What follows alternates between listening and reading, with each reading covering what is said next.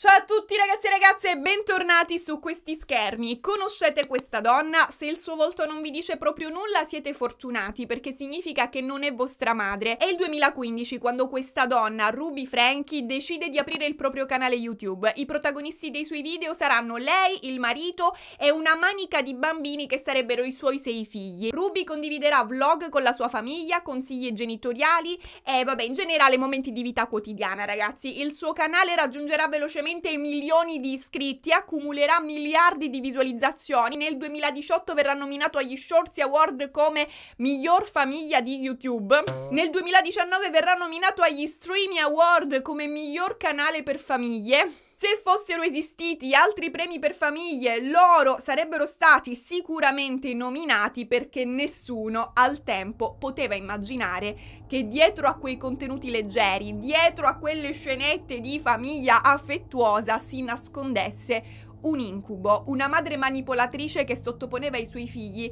ad abusi e a un certo punto anche a torture. I segnali erano sotto gli occhi di tutti, erano disseminati sin dall'inizio nei suoi video su YouTube, ma ci è voluto tempo, troppo tempo purtroppo, affinché ci si accorgesse di quanto stava accadendo. In questi giorni si sta parlando molto di Ruby Frankie e perché?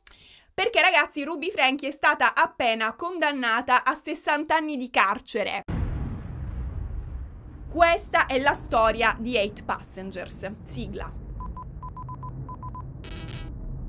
Ruby Griffiths nasce il 18 gennaio 1982, quindi abbiamo un bel capricorno e nasce negli Stati Uniti, in particolare nello Utah. Il luogo in cui nasce, ragazzi, ha una particolarità perché il 62% dei, degli abitanti sono membri della Chiesa di Gesù Cristo dei Santi degli Ultimi Giorni, che può sembrare un'esclamazione, può sembrare una lamentela, eh, tipo oh Gesù Cristo dei Santi degli Ultimi Giorni, e invece è una religione, una religione vera. Avrete sentito parlare qualche qualche volta penso dei cosiddetti mormoni. Ecco, la Chiesa di Gesù Cristo dei Santi degli Ultimi Giorni è il nome originale della cosiddetta religione dei mormoni. Diciamo che mormoni è un soprannome che viene mh, mm, utilizzato, credo, per abbreviare il discorso. La religione dei mormoni è una religione che si definisce cristiana, cioè i mormoni si reputano cristiani, però la religione cristiana non è d'accordo con questa cosa e non la riconosce come tale. Questo perché? Perché gli adepti della Chiesa di Gesù Cristo dei Santi degli ultimi giorni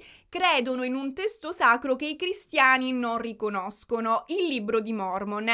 Avete presente l'Antico Testamento e il Nuovo Testamento? Ecco, il libro di Mormon si pone come il terzo capitolo della saga, il terzo testamento, il sequel. Sto dicendo, ragazzi, lo so, una cosa molto grossolana e lo sto facendo giusto per semplificare in poche parole l'importanza che ha questo testo per i fedeli della Chiesa di Gesù Cristo dei Santi degli ultimi giorni. Il libro di Mormon Mormon completa gli insegnamenti della Bibbia, quindi già capite il disappunto dei cristiani, gli stanno dicendo che il loro testo sacro è incompleto. In breve ragazzi, come nasce questa religione? Era il 1800 circa, quando un ragazzino di 12 anni, tale Joseph Smith, si era trasferito con la famiglia in una fattoria nel villaggio di Palmira, a New York, un luogo particolare, particolare perché caratterizzato da un risveglio religioso. Risveglio religioso è l'espressione storicamente usata per per indicare il fatto che ognuno a Palmira avesse la propria religione personalizzata. C'erano più religioni che fedeli, c'erano i cattolici, i metodisti, i presbiteriani, i battisti, i luterani, i pastafariani e Joseph, poverino, non sapeva bene in che cosa credere, cioè era confuso da tutte quelle confessioni religiose, non capiva quale fosse la verità, non capiva quale fosse la religione vera. E qui finisce la storia e inizia il racconto, il racconto fatto dallo stesso Joseph Smith. Praticamente lui dice, un giorno ero in un bosco bosco e mi sono messo a pregare per chiedere a Dio di indicarmi in che cosa credere perché avevo bisogno di un consiglio e così ho avuto una visione. Dio e Gesù, dice ragazzi Joseph Smith, improvvisamente si sono palesati davanti a me e mi hanno detto guarda Joseph non vorremmo scoraggiarti però sinceramente nessuna delle chiese esistenti è quella giusta quindi lascia perdere, goditi la vita. Quindi ragazzi abbiamo questa visione di Dio e Gesù che sono pieni degli umani che proprio non ce la fanno. Qualche anno dopo Joseph, sempre secondo il suo stesso racconto, avrebbe avuto un'altra visione. Un angelo di nome Moroni si sarebbe presentato a lui e gli avrebbe detto ciao, sono un profeta morto nel 400 d.C. Non ti spaventare, devi sapere che esiste un testo sacro inciso su tavole d'oro sepolto in una collina. Seguimi che te lo faccio vedere. Joseph va e trova queste tavole e al che l'angelo Moroni gli dice bene, Traducilo, buon lavoro. Joseph Smith, ragazzi, è accollativo, bisogna dire, e si mette subito al lavoro. Nel 1830 esce la prima edizione del libro di Mormon, che si diffonde rapidamente al punto che diverse persone si battezzano come mormoni. Ciò fa girare gli ormoni alle autorità religiose che dicono no, ma questo vero dice, ma ti pare che arrivi e fondi una religione così perché hai visto un fantasma? Non esiste. E quindi Joseph Smith viene arrestato. A questo punto però lui non contento si mette a scrivere una revisione della Bibbia perché continuava ad avere delle visioni, visioni nelle quali gli veniva detto da Dio che la dottrina che le altre chiese insegnavano fosse ormai obsoleta. Dio la voleva aggiornare la dottrina, voleva fare un remake dei dogmi e proprio a Joseph Smith aveva affidato questo compito ingrato. Vallo a spiegare ai cristiani che la Bibbia ormai è antiquata. Vabbè, ve la faccio breve, ragazzi. Joseph Smith fonda questa nuova chiesa e la chiama Chiesa di Gesù Cristo dei Santi degli Ultimi Giorni perché non aveva il dono della sintesi, evidentemente. Infatti è tutto nel nome di questa chiesa, ragazzi. Punto primo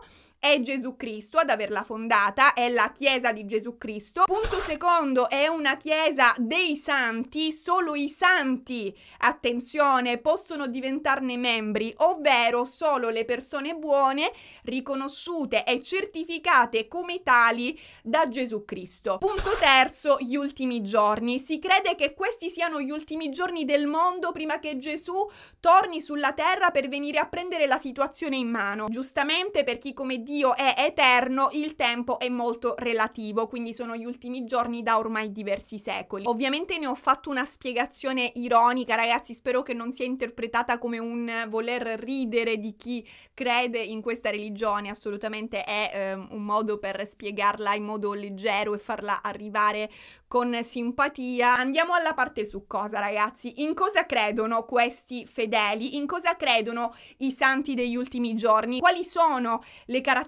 di questa religione? I fedeli della Chiesa di Gesù Cristo dei santi degli ultimi giorni credono nella famiglia eterna. Se ti sposi non è finché morte non vi separi. Attenzione, è per l'eternità, è forever, quindi ci devi pensare bene perché manco la morte ti salverà da una scelta di merda. I figli che nasceranno da questi matrimoni eterni faranno parte di una famiglia eterna. Ora, essendo una religione che romanticizza molto l'idea della famiglia, perché la famiglia è proprio l'anima, ragazzi, di questa religione, è anche logico che i membri di questa chiesa siano innamorati del concetto di famiglia, al punto che figliano come conigli. Le famiglie dei santi degli ultimi giorni sono spesso numerose, soprattutto in America, ragazzi, soprattutto in America non è raro imbattersi fa- in famiglie composte da 5, 6, 7, 8, 9, 10 figli, tanto che in molti si chiedono ma non sarà che questa chiesa vieta l'uso dei contraccettivi? Ebbene no, una ragazza di nome Eleonora che è una delle poche sante degli ultimi giorni italiane è stata così gentile da spiegarmi qualcosina sulla sua fede. Innanzitutto l'uso della contraccezione non è vietato dalla Chiesa di Gesù Cristo dei Santi degli ultimi giorni. È vero che ci sono delle regole che limitano, diciamo, la sessualità, però non c'è scritto da nessuna parte che non puoi usare il preservativo. Le regole del sesso non sono molto diverse da quelle di qualunque altra confessione cristiana. Allora, uomo e donna non possono avere rapporti prima del matrimonio, dopodiché possono tranquillamente darsi alla pazza gioia, ma solo tra di loro, cioè mh, mm, puoi farlo solo con il coniuge. Tra l'altro, ragazzi, attenzione, uno dei luoghi comuni sui mormoni è che siano poligami. Effettivamente, tra il 1852 e il 1853 1890 mi scrive Eleonora, la poligamia ha fatto parte della nostra chiesa, ma dopodiché basta, cioè a un certo punto si è deciso di cambiare regime e sta di fatto ragazzi che le famiglie poligame non facciano più parte della chiesa da oltre 100 anni. Anzi a un certo punto alcune persone sono state proprio scomunicate in quanto poligame perché non è proprio più contemplata la poligamia, così come non lo è nelle altre confessioni cristiane. E quindi ragazzi mi scrive Eleonora, come puoi immaginare molti membri della chiesa a quel tempo sono nati in famiglie poligame e sono stati cresciuti con un certo credo ed era tutto quello che conoscevano. Quindi in molti non hanno preso bene questa decisione e così si sono formate le varie chiese fondamentaliste e sono quelle che fanno parte di tanti documentari o serie tv come Big Love e che purtroppo sono state terreno fertile per abusi sessuali e pedofilia. Ci tengo però a specificare che non fanno in alcun modo parte della Chiesa di Gesù Cristo dei Santi degli ultimi giorni. La poligamia è assolutamente vietata nella nostra Chiesa, anche se fa parte della sua storia. E fino a questo punto sembra che la Chiesa di Gesù Cristo dei Santi degli ultimi giorni non si discosti molto da altre confessioni religiose in termini di regole e restrizioni. Tuttavia, ragazzi, una distinzione c'è ed è la severità con cui le regole vengono applicate. Per esempio, mettiamo che tu violi la legge di castità verità e mettiamo che per qualche motivo si viene a sapere. Ecco, se nella Chiesa cattolica ti basta recitare due preghierine, un'Ave Maria, un Padre Nostro e Dio ti perdona con una pacca divina sulla spalla, nella Chiesa di Gesù Cristo dei Santi degli ultimi giorni rischi di essere punito, rischi di essere sospeso per un periodo e di essere escluso dalla comunione domenica- domenicale per un certo tempo o in alcuni casi estremi di essere addirittura scomunicato. Se tipo questi rapporti extramatrimoniali avvengono ad esempio tra omosessuali. Ma le rigide regole imposte dalla Chiesa di Gesù Cristo dei Santi degli ultimi giorni non riguardano solo la sfera sessuale. Per esempio, la domenica si va in chiesa. E fino a qui direte, vabbè, mm, gra- cioè, mm, ci sta. Ma il punto è che si va in chiesa e basta, cioè non si può fare nient'altro. Non è che puoi lavorare, studiare, fare sport, fare shopping durante la giornata, uscire, viaggiare, guardare la tv, andare al cinema, prendere, prendere la macchina. La domenica è il giorno in cui ti devi dedicare alla preghiera. E una domenica al mese non si può neanche mangiare perché si fa il digiuno. Inoltre, ragazzi, i fedeli non possono assumere non possono fumare, non possono assumere il caffè, l'alcol e le bevande calde. Praticamente è un'ottima religione per chi soffre di, di, reflusso gastrico. Però ragazzi ho il dovere di sottolineare una cosa. Sebbene la Chiesa di Gesù Cristo dei Santi degli ultimi giorni possa apparire rigida, sui suoi siti ufficiali si legge chiaramente che i genitori devono educare i figli con amore, che bisogna creare un ambiente amorevole in cui i bambini possano crescere ed essere sostenuti perché i figli sono doni di Dio. Tutto ciò ragazzi capirete presto perché ve lo sto specificando. Torniamo a Ruby Griffiths. Entrambi i genitori di Ruby Griffiths sono membri della Chiesa di Gesù Cristo e dei Santi degli Ultimi Giorni da generazioni, tuttavia non sono una famiglia molto numerosa. Infatti Ruby ha solamente tre sorelle e un fratello, è molto legata alla sua famiglia ma in modo particolare è legata a sua madre, tanto che in futuro dirà mia madre è stata la migliore persona persona che potessi avere come caregiver. Infatti la madre a detta sua faceva molti sforzi per renderla felice, per esempio la portava a fare shopping il giorno del suo compleanno. Questo farà crescere Ruby con la voglia di insegnare alle nuove generazioni il valore della maternità, soprattutto a coloro che mancano di rispetto alla propria madre.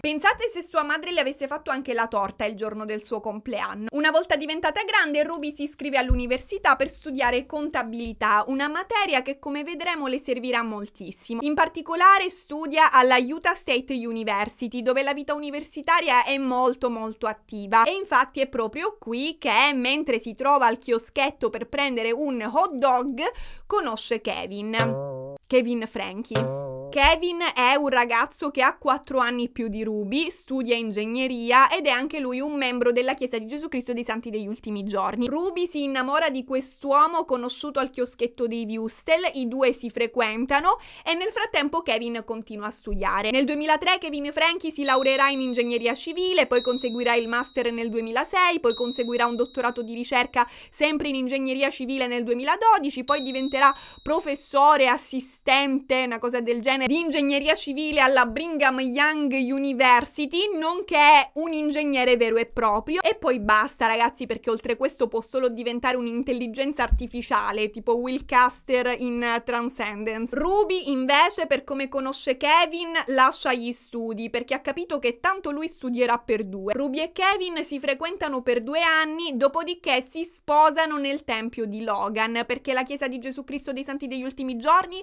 ha dei templi che sono i luoghi di culto più sacri in assoluto ed è nei templi che si celebra l'unione delle famiglie eterne. Ruby Griffiths diventa ufficialmente la signora Ruby Frankie. Il fatto che Ruby abbia sposato un uomo identico a suo padre non è assolutamente una red flag e soprattutto non è assolutamente inquietante. Da questo momento in poi Ruby e Kevin si mettono a sfornare i figli come fossero biscotti, ne fanno uno puntualmente ogni due anni perché Ruby ha studiato contabilità e ci tiene alla precisione, ci tiene proprio in modo millimetrico. Nel 2003 nasce la loro prima figlia Shari, due anni dopo nel 2005 nasce il secondo figlio Chad, due anni dopo nel 2007 nasce la terza figlia Abby, due anni dopo nel 2009 nasce la quarta figlia Julie, due anni dopo nel 2011 nasce il quinto figlio Russell, due anni dopo nel 2013 nasce la sesta figlia Eve, due anni dopo nasce il canale YouTube di Ruby Frankie. E di cosa potrà mai parlare in questo canale YouTube Ruby Frankie? Ovviamente della sua famiglia numerosa.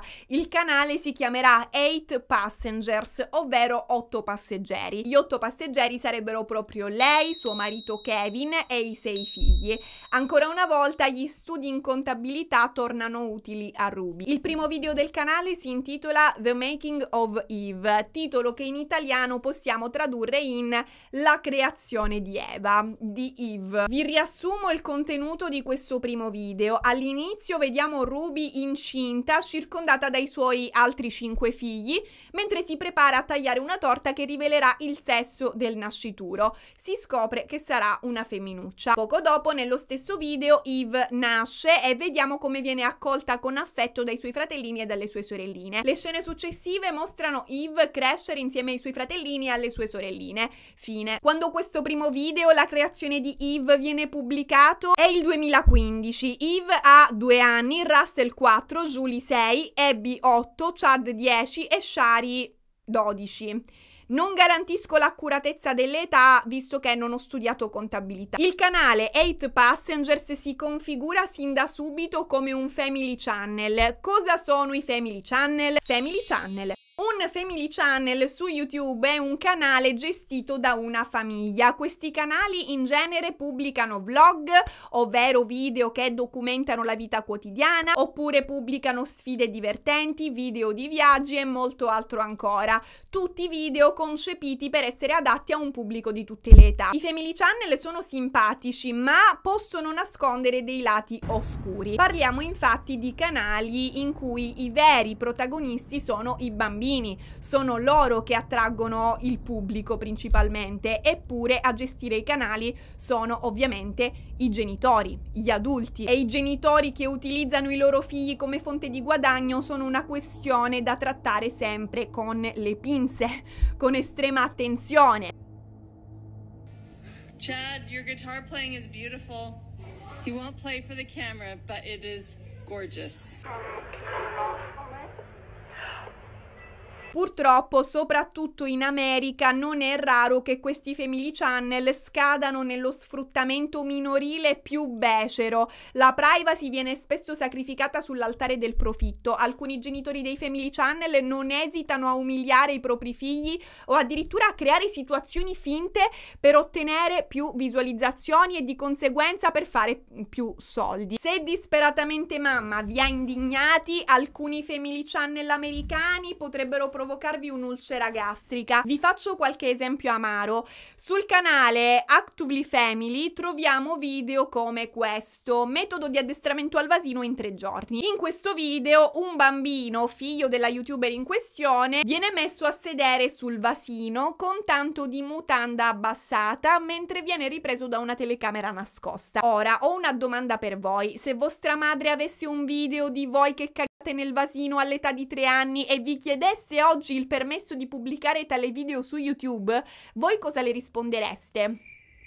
Io penso che la risposta più frequente sarebbe non ti azzardare, madre o mi drogo. Ebbene, questo video conta ad oggi 1,5 milioni di visualizzazioni. Il bambino un giorno sarà adulto e dovrà fare pace col fatto che 1,5 milioni di persone lo abbiano visto cagare nel vasino. Però, quantomeno, questo video per qualcuno è utile. Cioè, per esempio, i genitori che si trovano in difficoltà nel processo di addestramento al vasino del proprio figlio possono accedere a sto tutorial di questa signora e imparare dai suoi insegnamenti anche se il prezzo da pagare è che suo figlio è stato usato come, fa- come un fantoccio, però quantomeno sto video ha un'utilità. Purtroppo ci sono canali ai quali questa attenuante non si può applicare, canali come The Labrandt Family, gestito da due genitori che con i video documentano le loro vite familiari con i loro quattro piccoli figli, il canale conta ben 12,9 milioni di iscritti. Vi faccio ora un elenco degli stati americani con una popolazione inferiore a 12,9 milioni di persone. Wyoming, Vermont, Alaska, Dakota del Nord, Dakota del Sud,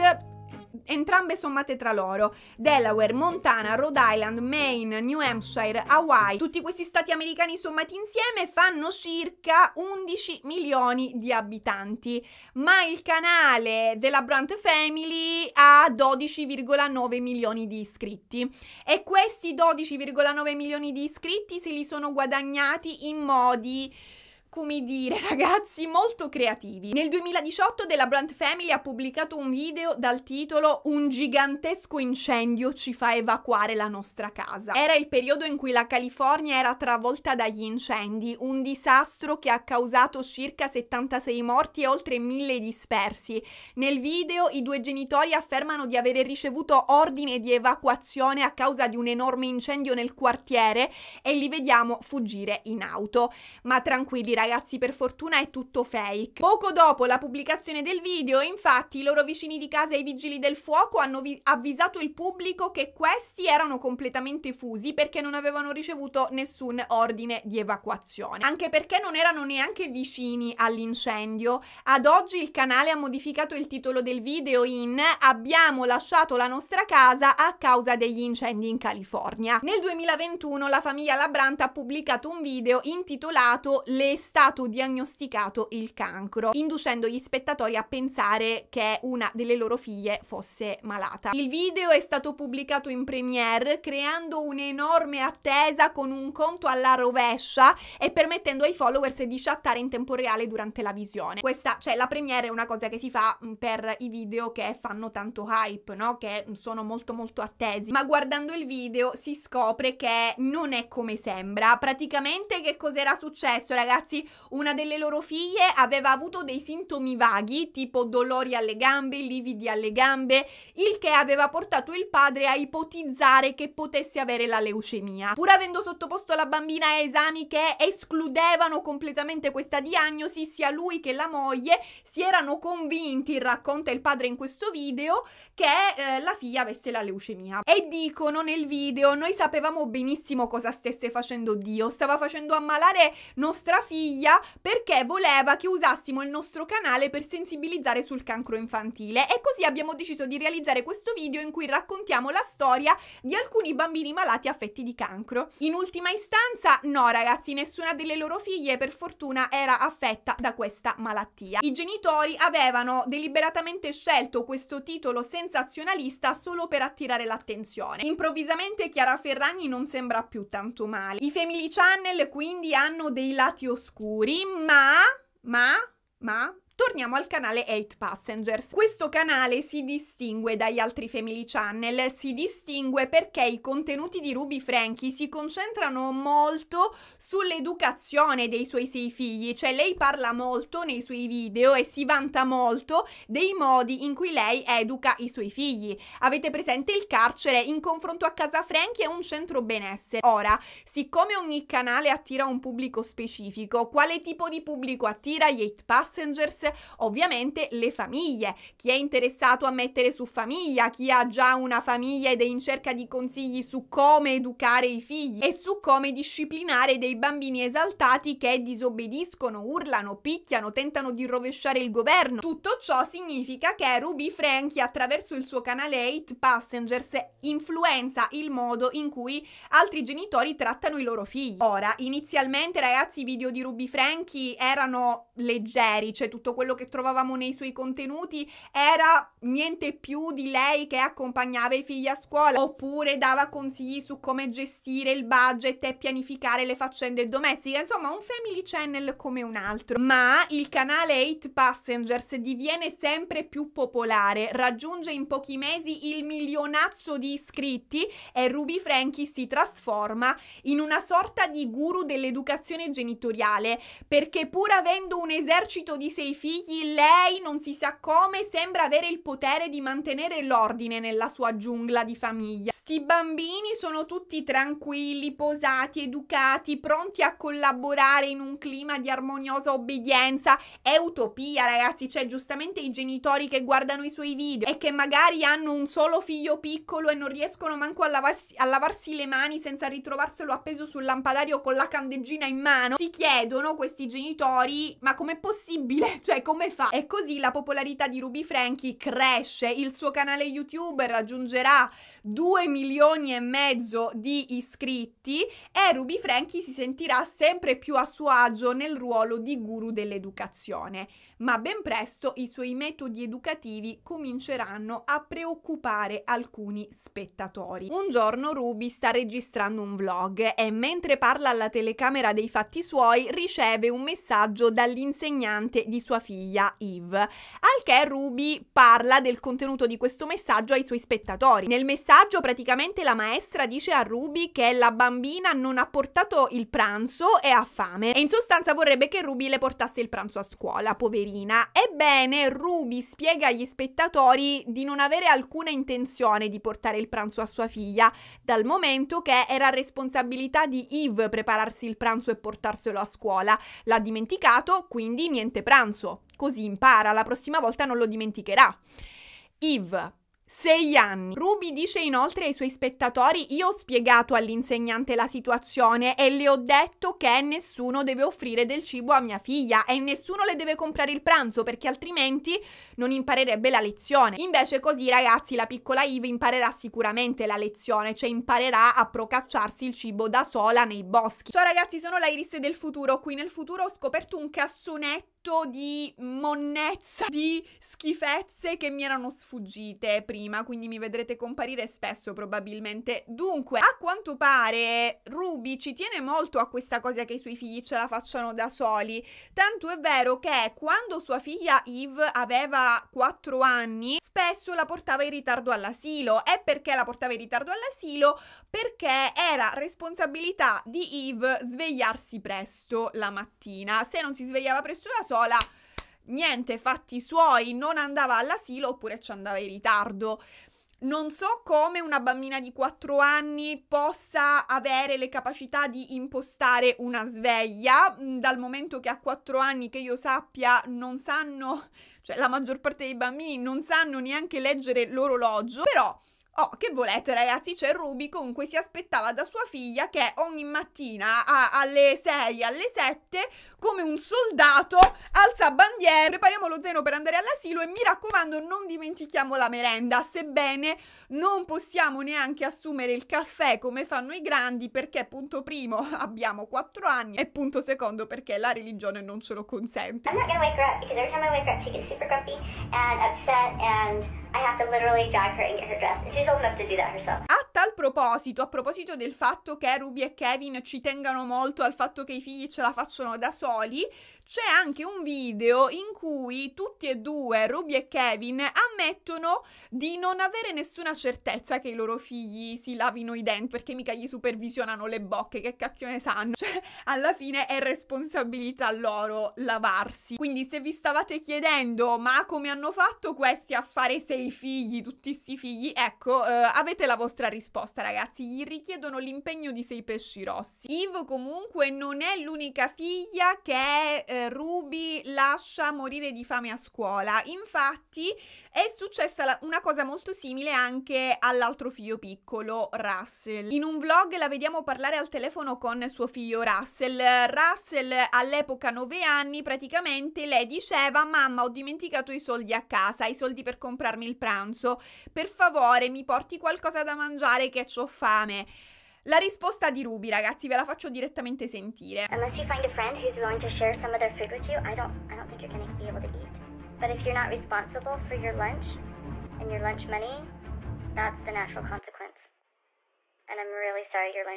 Really. Quindi Ruby si aspetta perfezione dai suoi figli, non possono sbagliare perché altrimenti pagano le conseguenze dei loro errori anche se lei ha gli strumenti per aiutarli, per eh, far sì che eh, quelle conseguenze di questi errori comunque involontari, comunque fatti in buona fede, cioè non è che dici hanno fatto del male a qualcuno, un errore di distrazione, no? Il, il bambino di 9 anni si è dimenticato dimenticato i soldi del pranzo a casa. E anche se lei avrebbe tutti gli strumenti per poterlo aiutare, potrebbe prendere la macchina e andare da lui eh, portandogli i soldi per mangiare o portandogli, non lo so, una treccina che cacchio si mangiano in America, un hot dog, un pancake. Lei potrebbe farlo, ma non lo fa. L'unico supporto che lei offre a Russell in questa situazione è dirgli Tesoro, mi dispiace che ti stia succedendo questo. Grazie per la comprensione, mamma, ma se non posso mangiarla, la tua comprensione non mi serve per il momento. Con la piccola Eve, che è la figlia più piccolina, Ruby sa essere particolarmente spietata. Ad esempio, la piccola Eve qui dovrebbe avere circa 4 anni, quando si ritrova a dover implorare perdono alla madre senza letteralmente avere fatto niente, ragazzi, niente, se non chiedere chiederle mamma che film stiamo andando a vedere al cinema di fronte a questa domanda Ruby si prende male, manco se sua figlia di 4 anni le avesse detto sei una grandissima zocca e pertanto la rimprovera severamente. Perché? Perché non si chiede che film stiamo andando a vedere al cinema, soprattutto con questo tono un po' scazzato, bisogna solo essere grati che nostra madre ci stia portando al cinema e mostrare gioia e gratitudine. La bambina al rimprovero di sua madre reagisce in modo docile, abbassa la testa, abbassa gli occhi, è mortificata, si vede proprio che è, è in difficoltà. Eppure Ruby, non contenta, chiama la babysitter, la chiama al telefono davanti a sua figlia Eve, facendole capire che la vuole lasciare a casa, non se la vuole più portare al cinema perché non merita di andare al cinema. Mentre Ruby parla al telefono con la babysitter, la bambina si scusa con lei sommessamente molte volte, le dice mamma, mamma, scusa, scusa. We are going to a movie, so go get on your shoes. What is it? What? Does it even matter? If someone asked me if I wanted to go to a movie, I wouldn't ask, what is it? Run and get your shoes or you're going to not go. Hurry. Mm-hmm. Everyone run. Hey, this is Ruby. I was wondering, is Brooke available to babysit? Sorry. Oh my gosh, that sounds amazing. What a good idea for spring break. Alla fine, ragazzi, conclusione, la babysitter non era disponibile, quindi Ruby decide di perdonare la bambina. Come umana lei. Um, I am not taking Eve, babe, Eve, unless you come and give me a huge apology. You come give me a hug and you come say you're sorry. No, again, where I can pay attention. In questo video invece Ruby racconta di quella volta in cui Eve l'ha svegliata alle due di notte perché aveva bagnato il letto. Capita no, ai bambini di eh, riempire il pannolino e bagnare il letto, oppure quando sono più grandi di non trattenere la pipì nel sonno eh, perché magari non sono ancora tanto abituati al gabinetto e quindi bagnano il letto. Insomma, è successa una situazione spiacevole di questo tipo, al che dice Ruby, io le ho detto non ti preoccupare amore, vai a dormire nel pavimento del bagno e, e, lo racconta come se fosse una cosa normale. Cioè lei non è che si è alzata, ha cambiato le lenzuola alla bambina oppure se proprio aveva troppo sonno, non aveva voglia, l'ha messa nel letto con lei, l'ha fatta dormire con lei. No, l'ha spedita con molta nonchalance a dormire nel pavimento del bagno, sempre in virtù del fatto che quando commetti un'azione ne paghi le naturali conseguenze. Questo anche se i tuoi genitori, le persone che più di chiunque altro dovrebbero esserti di supporto, hanno gli strumenti per aiutarti e farti stare meglio, ma non lo fanno, non lo fanno, te ne privano. Vedo già all'orizzonte l'attaccamento evitante che svilupperanno questi questi ragazzi. Non finisce qui, in quest'altro video mostra alla bambina il suo peluche preferito e le dice se tagli un'altra cosa in casa mia io andrò a prendere le forbici e gli taglierò la testa. La bambina scoppia in lacrime. If you cut one more thing in my house, I'm going to take the scissors, look at me, and I'm going to cut its head off. Grandma il peluche per una bambina così piccola è un oggetto di conforto, è un oggetto che stringe quando ha bisogno di sentirsi al sicuro. Quindi, nel momento in cui sua madre minaccia di tagliargli la testa, il suo spazio sicuro viene minacciato, viene messo in pericolo e questo può causare ansia a una bambina così piccola. Cioè, qui Eve, ragazzi, ha avrà avuto sì e no tre anni. Oltretutto ciò che sta insegnando Ruby a questa bambina di soli tre anni è che va bene usare la minaccia, va bene usare il ricatto, va bene ricorrere ai comportamenti coercitivi per risolvere i problemi e ottenere quello che vuoi. Un modello di comportamento che la bambina da grande potrebbe replicare non solo con i suoi stessi figli, se ne avrà, ma anche con altre persone in generale, senza contare il disturbo post-traumatico da stress che Ruby sta causando al pupazzo. Ma purtroppo non finisce qui. Un giorno Ruby Frankie è in auto con uno dei suoi figli, credo che sia Russell, quando a un certo punto hanno un incidente con la macchina, o meglio, Ruby riesce a sterzare, però l'altra macchina che andava loro incontro eh, si scafazza, come si dice, si schiaccia come una lattina di Coca-Cola. Ruby sta registrando la situazione, si accosta, si assicura che le persone coinvolte nell'incidente stiano bene, dopodiché rientra entra in auto e suo figlio Russell dice a sua madre questo è stato il mio primo incidente. Giustamente Russell qua è piccolo, avrà circa 4-5 anni a guardarlo. E cosa risponde Ruby a suo figlio? Gli risponde, la cito testualmente, ragazzi, vi riporto quello che eh, dice al bambino. Voglio dirti una cosa e voglio che tu mi ascolti davvero. Sarebbe potuto succedere a noi. Potevamo esserci noi al posto di quell'auto. Ma sì, traumi gratis. We should have been in that crash. There I don't know how we avoided getting hit, but you know what? There is not a single scratch on our car. There is not one person who got whiplash. And do you know why? Ma andiamo avanti, Ruby Frankie nei suoi video si vanta di non garantire la privacy ai propri figli. Ad esempio, in un video durante un pranzo in famiglia, vediamo Ruby sorprendere uno dei suoi figli, Chad, a scrivere un messaggio sul cellulare di nascosto, al che papà Kevin sequestra il telefono al figlio e tenta di leggere il messaggio che Chad stava scrivendo.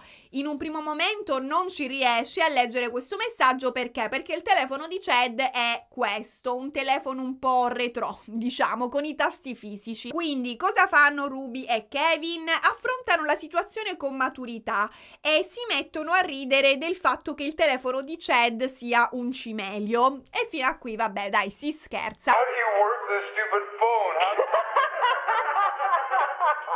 A questo punto Ruby interviene e dice, ve la cito testualmente, l'unico lato negativo di dare ai tuoi figli un cellulare pieghevole è che giuro che devo ricordarmi come funziona ogni volta che lo uso. Quindi in pratica Ruby e Kevin stanno deridendo un po' il loro figlio di fronte a milioni di persone per l'uso di un telefono obsoleto che loro stessi gli impongono. We should clarify that in our house, all our kids know that uh, cell phones are free game for parents, so we can monitor safety.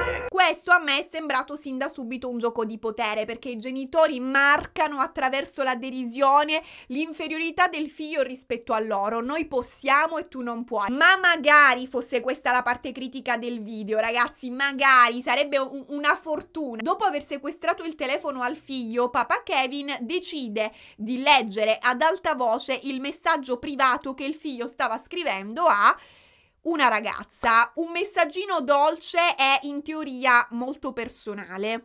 I really like you. I saw you in my dreams last night.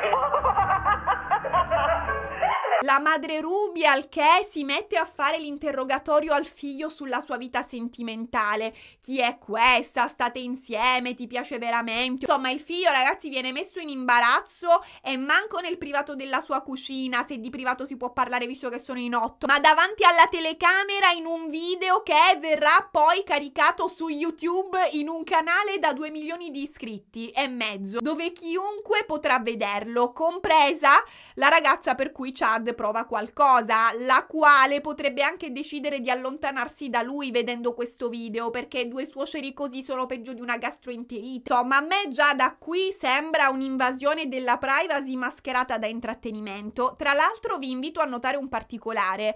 Mentre ai figli Ruby vieta l'uso del telefono a tavola, Dad, over there? Lei se ne sta tutto il tempo con la telecamera in mano a riprenderli, molto coerente. D'altro canto, in casa Frankie è già un miracolo che uno dei figli abbia addirittura un telefono. Infatti, Ruby, questo istituto penitenziario di Don, spiega in un altro video che quando i suoi figli portano a casa brutti voti, lei sequestra loro ogni dispositivo elettronico, telefoni, telecomandi, televisione, anche i pacemaker gli sequestrerebbe se li avessero. Tra l'altro, sempre a proposito dei dispositivi elettronici, in un altro video ancora Ruby spiegherà che secondo lei i genitori dovrebbero insegnare ai figli a gestire il tempo che trascorrono con il telefono, ma lei non ne ha voglia. Dice io non ne ho il tempo mm, quindi l'unica soluzione ragionevole è toglierglieli del tutto. E quindi lei in sostanza sequestra continuamente telefoni, cellulari, perché boh, non, non vuole che li usino, che, che poi dove se li tiene tutti questi telefoni, dove li conserva nella tuta gold. wake up around 5 a.m. and I would go and do my daily thinking in front of that safe full of all my electronics, like the Xbox and the iPads and all the iPods and the laptops and TV remotes. You even locked up the TV remotes. Ma fin qui non è niente di diverso da quello che fanno tanti altri genitori, no? Però lei non lo fa per qualche ora, lei lo fa per tutta l'estate. Ma tanto, come scopriremo tra poco, lei impedisce anche ai suoi figli di avere amici, quindi che fa? Ci fa niente a chi vuoi che telefonino al 911, al telefono azzurro. Ciò che capisco chiaramente è che questi ragazzi non hanno i mezzi per guardare i video caricati dalla loro madre su YouTube, video che ritraggono loro e i loro momenti di vita quotidiana. A proposito di dispositivi elettronici, il momento è propizio per presentarvi lo sponsor del giorno, NordVPN! Grazie NordVPN che anche oggi ci permetti di portare avanti questa baracca. Vivete all'estero ma volete comunque accedere al catalogo Netflix italiano perché abbiamo le ultime stagioni di Mare Fuori? NordVPN vi consente di navigare come se foste in Italia grazie alla sua mappa magica. Vi porto nella mappa di NordVPN. Eccoci qua, mettiamo che vivete a Hong Kong. La vostra connessione sarà geolocalizzata qui. No, dov'è Hong Kong?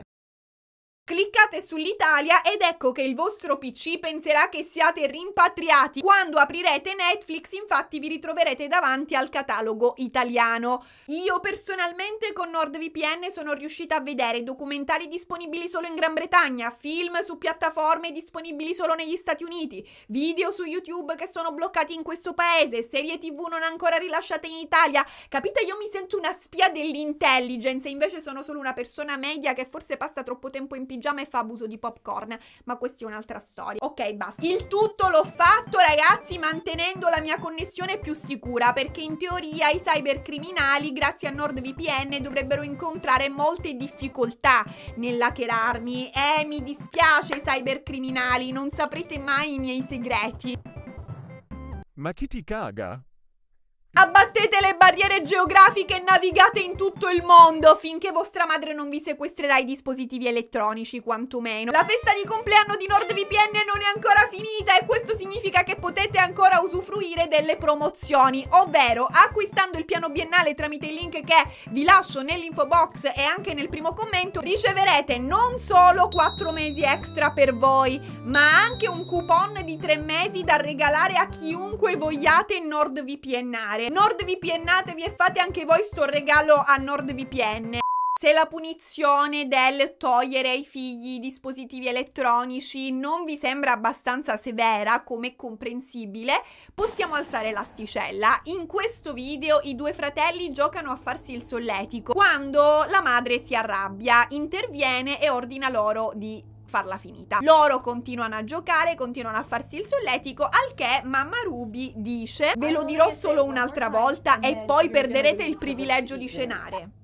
Per Ruby Frankie cenare è un privilegio, capito? Non è un diritto umano. Lei il cibo lo detiene e lo distribuisce solo a chi se lo merita. Ancora una volta un gioco di potere in cui lei è superiore e i figli inferiori. Ma lei è superiore a tutti, non solo ai suoi figli. Infatti, se ci pensate, nessuno può togliere a lei la cena giudicando il suo comportamento. Altrimenti, ragazzi, fidatevi, peserebbe 10 kg. A proposito di detenere il cibo e usarlo per ricattare i figli. Ruby in questo video dice a Eve, Eve massaggiami la schiena altrimenti non avrai la tua colazione. Al che la piccola Eve, che non ha nessuna voglia di massaggiarle la schiena, le dice ma sei così cattiva e Ruby le risponde non mi interessa. E lei non sta scherzando ragazzi, c'è seria, infatti poi Russell si fa furbo e le massaggia la schiena. Eve invece si rifiuta di sottostare a questo gioco. Evidentemente sebbene abbia solamente 4 anni, comincia un po' a rompersi le palle e quindi Ruby dice mi sa che Eve non farà colazione oggi.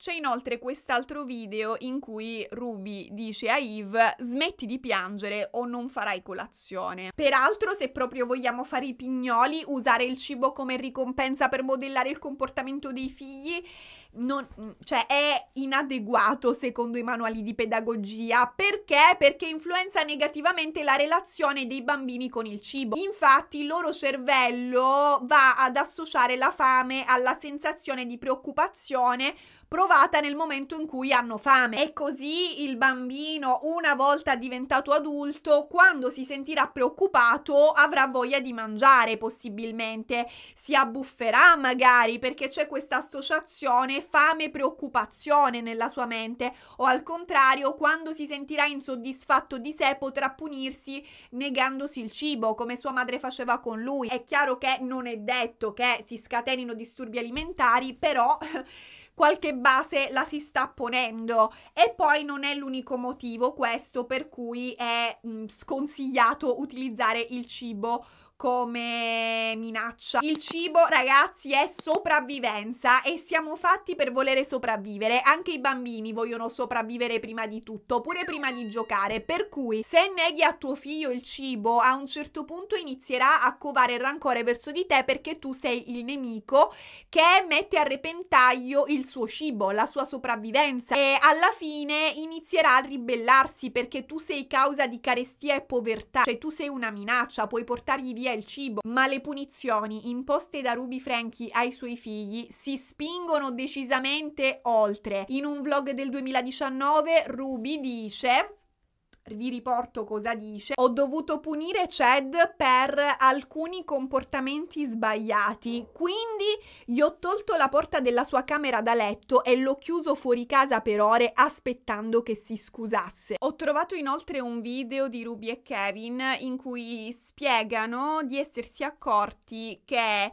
Chad si comportasse in qualunque situazione in modo irresponsabile, eccetto che nel football. Quando vai agli allenamenti di football, ehm, Chad sembra un'altra persona, dice Ruby, è responsabile, si presenta puntuale, fa tutto quello che gli chiedono di fare gli allenatori, gli, aiuta i suoi compagni, insomma lo adorano tutti. E quindi spiega Ruby in questo video visto che il football è l'unica situazione in cui lui si mostra responsabile, allora ce ne siamo sbarazzati, ci siamo sbarazzati del football, abbiamo deciso così non fa una piega, come se la responsabilità fosse una torta limitata, no? Che se prendi una fetta e la metti in un posto te ne rimane di meno per le altre cose. Ma che vuol dire? Non funziona così. Io penso, la butto lì, che Chad si sentisse apprezzato in squadra. Penso che quello potesse essere un luogo in cui lui sentiva di valere qualcosa. E um, una volta che Ruby e Kevin lo hanno privato di questo, possono solamente scatenargli tanta rabbia nei loro confronti. Addirittura in questo video Ruby e Kevin dicono il calcio era l'unica cosa che gli desse un valore, che desse un valore a questo ragazzo, quindi gliel'abbiamo tolta. Ma qual è la logica? Poi dice sempre in questo video, lui con il football ci stava manipolando comportandosi in questo modo. Niente, totalmente nonsense, ragazzi, inutili anche che vi faccio vedere il video. Tra Chad e i suoi genitori sembra esserci un muro invalicabile. Più Ruby tenta di controllarlo, più lui si comporta in modo ribelle, più lei ancora una volta tenta di sopraffarlo, di controllarlo. C'è questa scena in cui ci sono tutti i figli a tavola e Ruby e Kevin mostrano loro un sacchetto, un sacco pieno delle loro cose tra cui i compiti che Chad aveva fatto e che avrebbe dovuto consegnare a scuola il giorno dopo. A questo punto i genitori dicono ai ragazzi abbiamo deciso di insegnarvi il valore del denaro, quindi qualunque oggetto vogliate da questo sacchetto dovrete pagarcelo oppure tutt'al più dovrete fare dei lavoretti in casa del valore della cifra che noi attribuiamo a questo oggetto e al che ve lo ridaremo. Ciò dovrà avvenire entro la fine della giornata, perché entro la fine della giornata qualunque oggetto non verrà pagato verrà gettato nel cestino, nella spazzatura. Chad si arrabbia terribilmente per questo, addirittura piglia un oggetto che c'è sopra il tavolo e minaccia sua madre di buttarlo per terra e romperlo, perché quei compiti giustamente lui li ha fatti, ha già svolto un duro lavoro. È come se realizzassi un video mettendoci giorni, ore, fatica e qualcuno me lo rubasse dicendomi se vuoi questo video che tu hai realizzato me lo devi pagare. Credo che sia furto questa cosa. Cioè, semmai è il contrario. Tu, se vuoi i miei compiti, i compiti che ho fatto io, me li devi pagare. Tu non puoi appropriarti del frutto del mio lavoro e pretendere che ti paghi per riaverlo indietro. Oltretutto, domanda sorge spontanea, ma con quali soldi dovrebbero pagare questi, mh, mm, questi ragazzi? Cioè, loro, se ci pensate, ragazzi, lavorano costantemente per YouTube e non ricevono un euro per i loro diritti di immagine. Quindi non solo i loro genitori li fanno lavorare a gratis, ma hanno anche il coraggio di chiedere loro dei soldi per le loro stesse cose o per i loro compiti, cioè il frutto del loro lavoro. È una politica agghiacciante e quasi tutti i figli a un certo punto cederanno, no? Cercheranno di comportarsi bene, di sottostare alle regole prepotenti dei genitori pur di non essere puniti, pur di mangiare. Ho detto che quasi quasi tutti cederanno e si sottometteranno, tranne uno. E avrete già capito chi è. Chad è il ribelle di casa praticamente, lui è un'anima indomita che sembra sfidare costantemente le regole di sua madre e sembra sempre deludere le sue inarrivabili aspettative. Ma Chad non sapeva fino a che punto sua madre si sarebbe spinta per disciplinarlo, immagino. Infatti a un certo punto Chad sparisce dai video. Eight Passengers sembra diventare Seven Passengers. Così gli utenti iniziano a fare domande.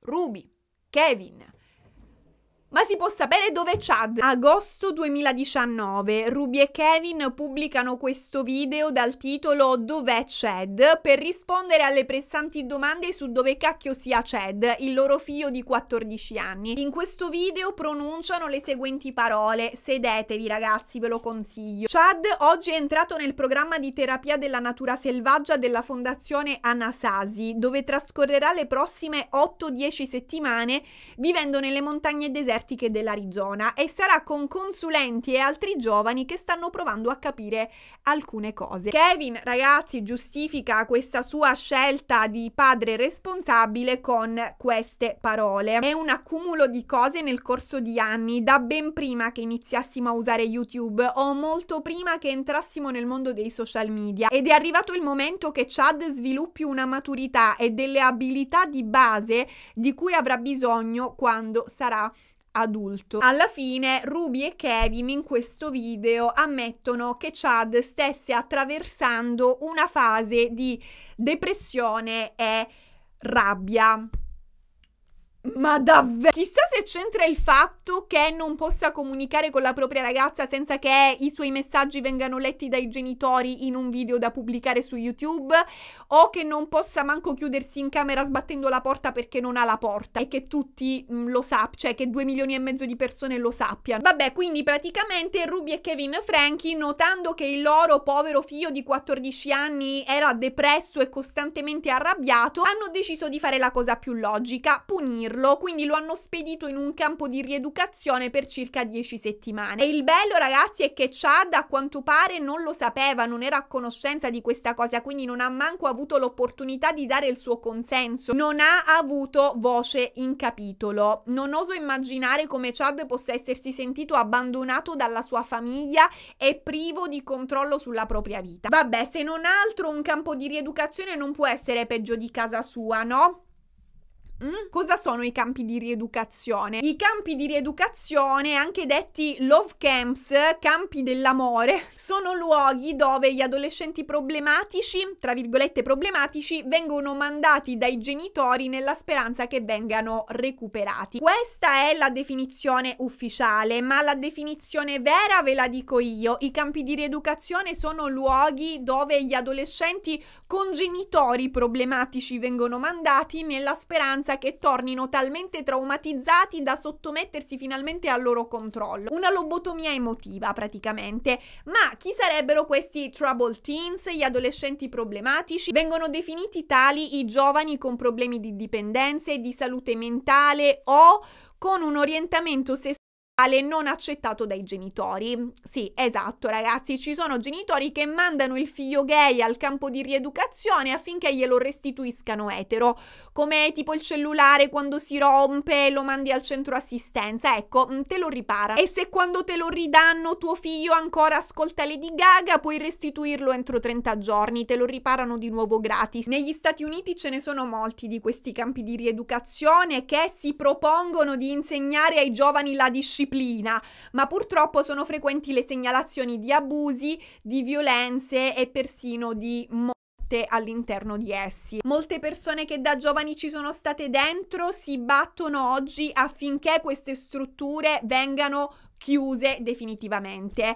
Una tra queste è Paris Hilton, la ricca ereditiera. Paris dice di averne fatto esperienza in prima persona all'età di 16 anni, quando i suoi genitori l'hanno mandata in un campo di rieducazione proprio nello Utah. Uno dei racconti scioccanti di Paris Hilton riguarda il suo rifiuto di assumere delle pillole, cioè a quanto pare ogni giorno le davano delle pillole che a detta sua la stordivano e quindi lei mh, mm, si rifiutava di assumerle. Ma secondo la sua versione situazione, ragazzi, poi veniva rinchiusa in una stanza isolata nella quale doveva entrare nuda sotto lo sguardo dei suoi custodi. Sempre in base alla versione di Paris Hilton, alcuni dei suoi compagni venivano regolarmente sbattuti contro il muro con le mani serrate intorno alla gola o subivano sevizie sessuali. Ma Paris non è l'unica voce famosa che si batte contro questi campi di rieducazione. Lei è la TikToker Eva Evans. Eva in un video racconta questa cosa. Avevo appena cenato in un ristorante indiano e praticamente mentre ero nel parcheggio del ristorante un SUV nero con i vetri oscurati mi si è avvicinato e mi ha presa, mi ha perquisita, mi ha caricata e sono finita in un deserto innevato per 99 giorni. Può sembrarvi una cosa irrealistica, ragazzi, però è tutto vero ed è anche una cosa legale questo rapimento negli Stati Uniti, in quanto è autorizzato dai genitori del minore. E infatti, se non sbaglio, anche Paris Hilton racconta di essere stata rapita da due uomini nel cuore della notte. Put a finger down if you've been kidnapped in the middle of the night by two large men who asked you if you wanted to go the easy way or the hard way. A dirla tutta, ragazzi, i genitori non solo autorizzano questo rapimento notturno, ma cedono proprio temporaneamente la tutela del minore all'istituto, al campo di rieducazione, quindi è come se i custodi dell'istituto diventassero temporaneamente i genitori di tutti questi ragazzi minorenni. Dopo il video di Eva Evans, tantissimi ragazzi americani si sono fatti avanti e TikTok è stato inondato da testimonianze agghiaccianti di ragazzi ragazzi che nella loro adolescenza erano stati, cioè sono stati internati nei campi di rieducazione. L'hashtag della campagna Breaking Code Silence è diventato virale e i racconti sono troppo inquietanti. Ad esempio, la TikToker Yankee D ha pubblicato le lettere che scriveva alla madre mentre si trovava in un campo di rieducazione nello Utah. In una di queste lettere leggiamo: Il trasporto fin qui è stato brutale, non mi hanno permesso di togliere il trucco dal viso a casa, ma poi abbiamo finito per sederci in aeroporto per circa tre ore al gate senza nulla da fare, visto che era troppo presto perché i negozi fossero aperti. Non mi hanno nemmeno dato l'opportunità di indossare vestiti normali, solo una felpa e dei pantaloni della tuta. Niente reggiseno o altro. Mi hanno mentito riguardo al programma, dicendomi che durava quattro settimane ed era super divertente, quando in realtà è un programma lungo 12 settimane e divertente non è la prima parola all'ordine del giorno. Ho avuto un terribile mal di stomaco per tutto il tempo e nessuno ha fatto nulla al riguardo perché non era compito loro. Non c'è acqua corrente qui, niente bagni, niente vere docce, il cibo è molto pesante per il mio stomaco e non mi sento mai bene. Non ci sono spazzole per capelli, solo pettini afro che non funzionano, almeno non per i miei capelli. Le docce qui sono solo te che ti versi acqua addosso nel mezzo del deserto, non ci danno deodorante, è estremamente anti-igienico secondo me. Sto passando un brutto periodo cercando di fare la cacca nel bosco. Qui fa molto freddo di notte e mi sveglio nel cuore della notte con i piedi intorpiditi ogni singola notte, a volte più di una volta. Le altre ragazze nel mio gruppo sono state mandate fuori con l'equipaggiamento invernale, quindi riescono a sopportare il freddo, ma io sono stata mandata fuori con l'equipaggiamento estivo, perché è quello che c'è in magazzino adesso. Il personale ha anche dimenticato di spedire il nostro bucato qualche giorno fa, quindi nessuno aveva dei vestiti puliti. Abbiamo solo due cambi di vestiti in totale.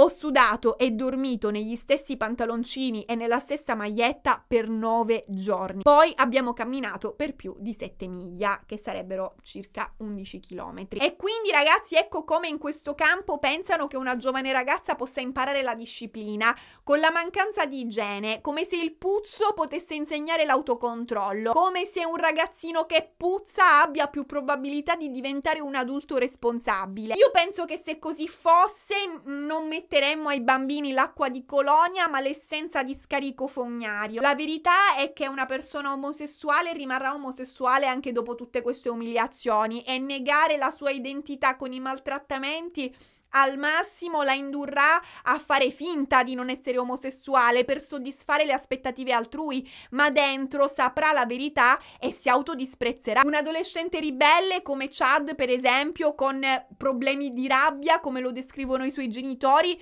continuerà a covare sentimenti di rabbia e con um, i i, i, maltrattamenti al campo di rieducazione imparerà solo a tenerli nascosti, ma alla fine la rabbia, tranquilli che da qualche parte uscirà. È imprevedibile sapere da dove e quando succederà, ma tra le testimonianze ragazzi c'è di peggio, cioè si, se si entra in questo, in questo buco nero di testimonianze si trova veramente mh, qualunque cosa e al, al peggio non c'è fine. Questo ragazzo racconta su TikTok di essere stato portato in un campo di rieducazione sempre nello Utah e eh, vabbè vi riporto direttamente le sue parole.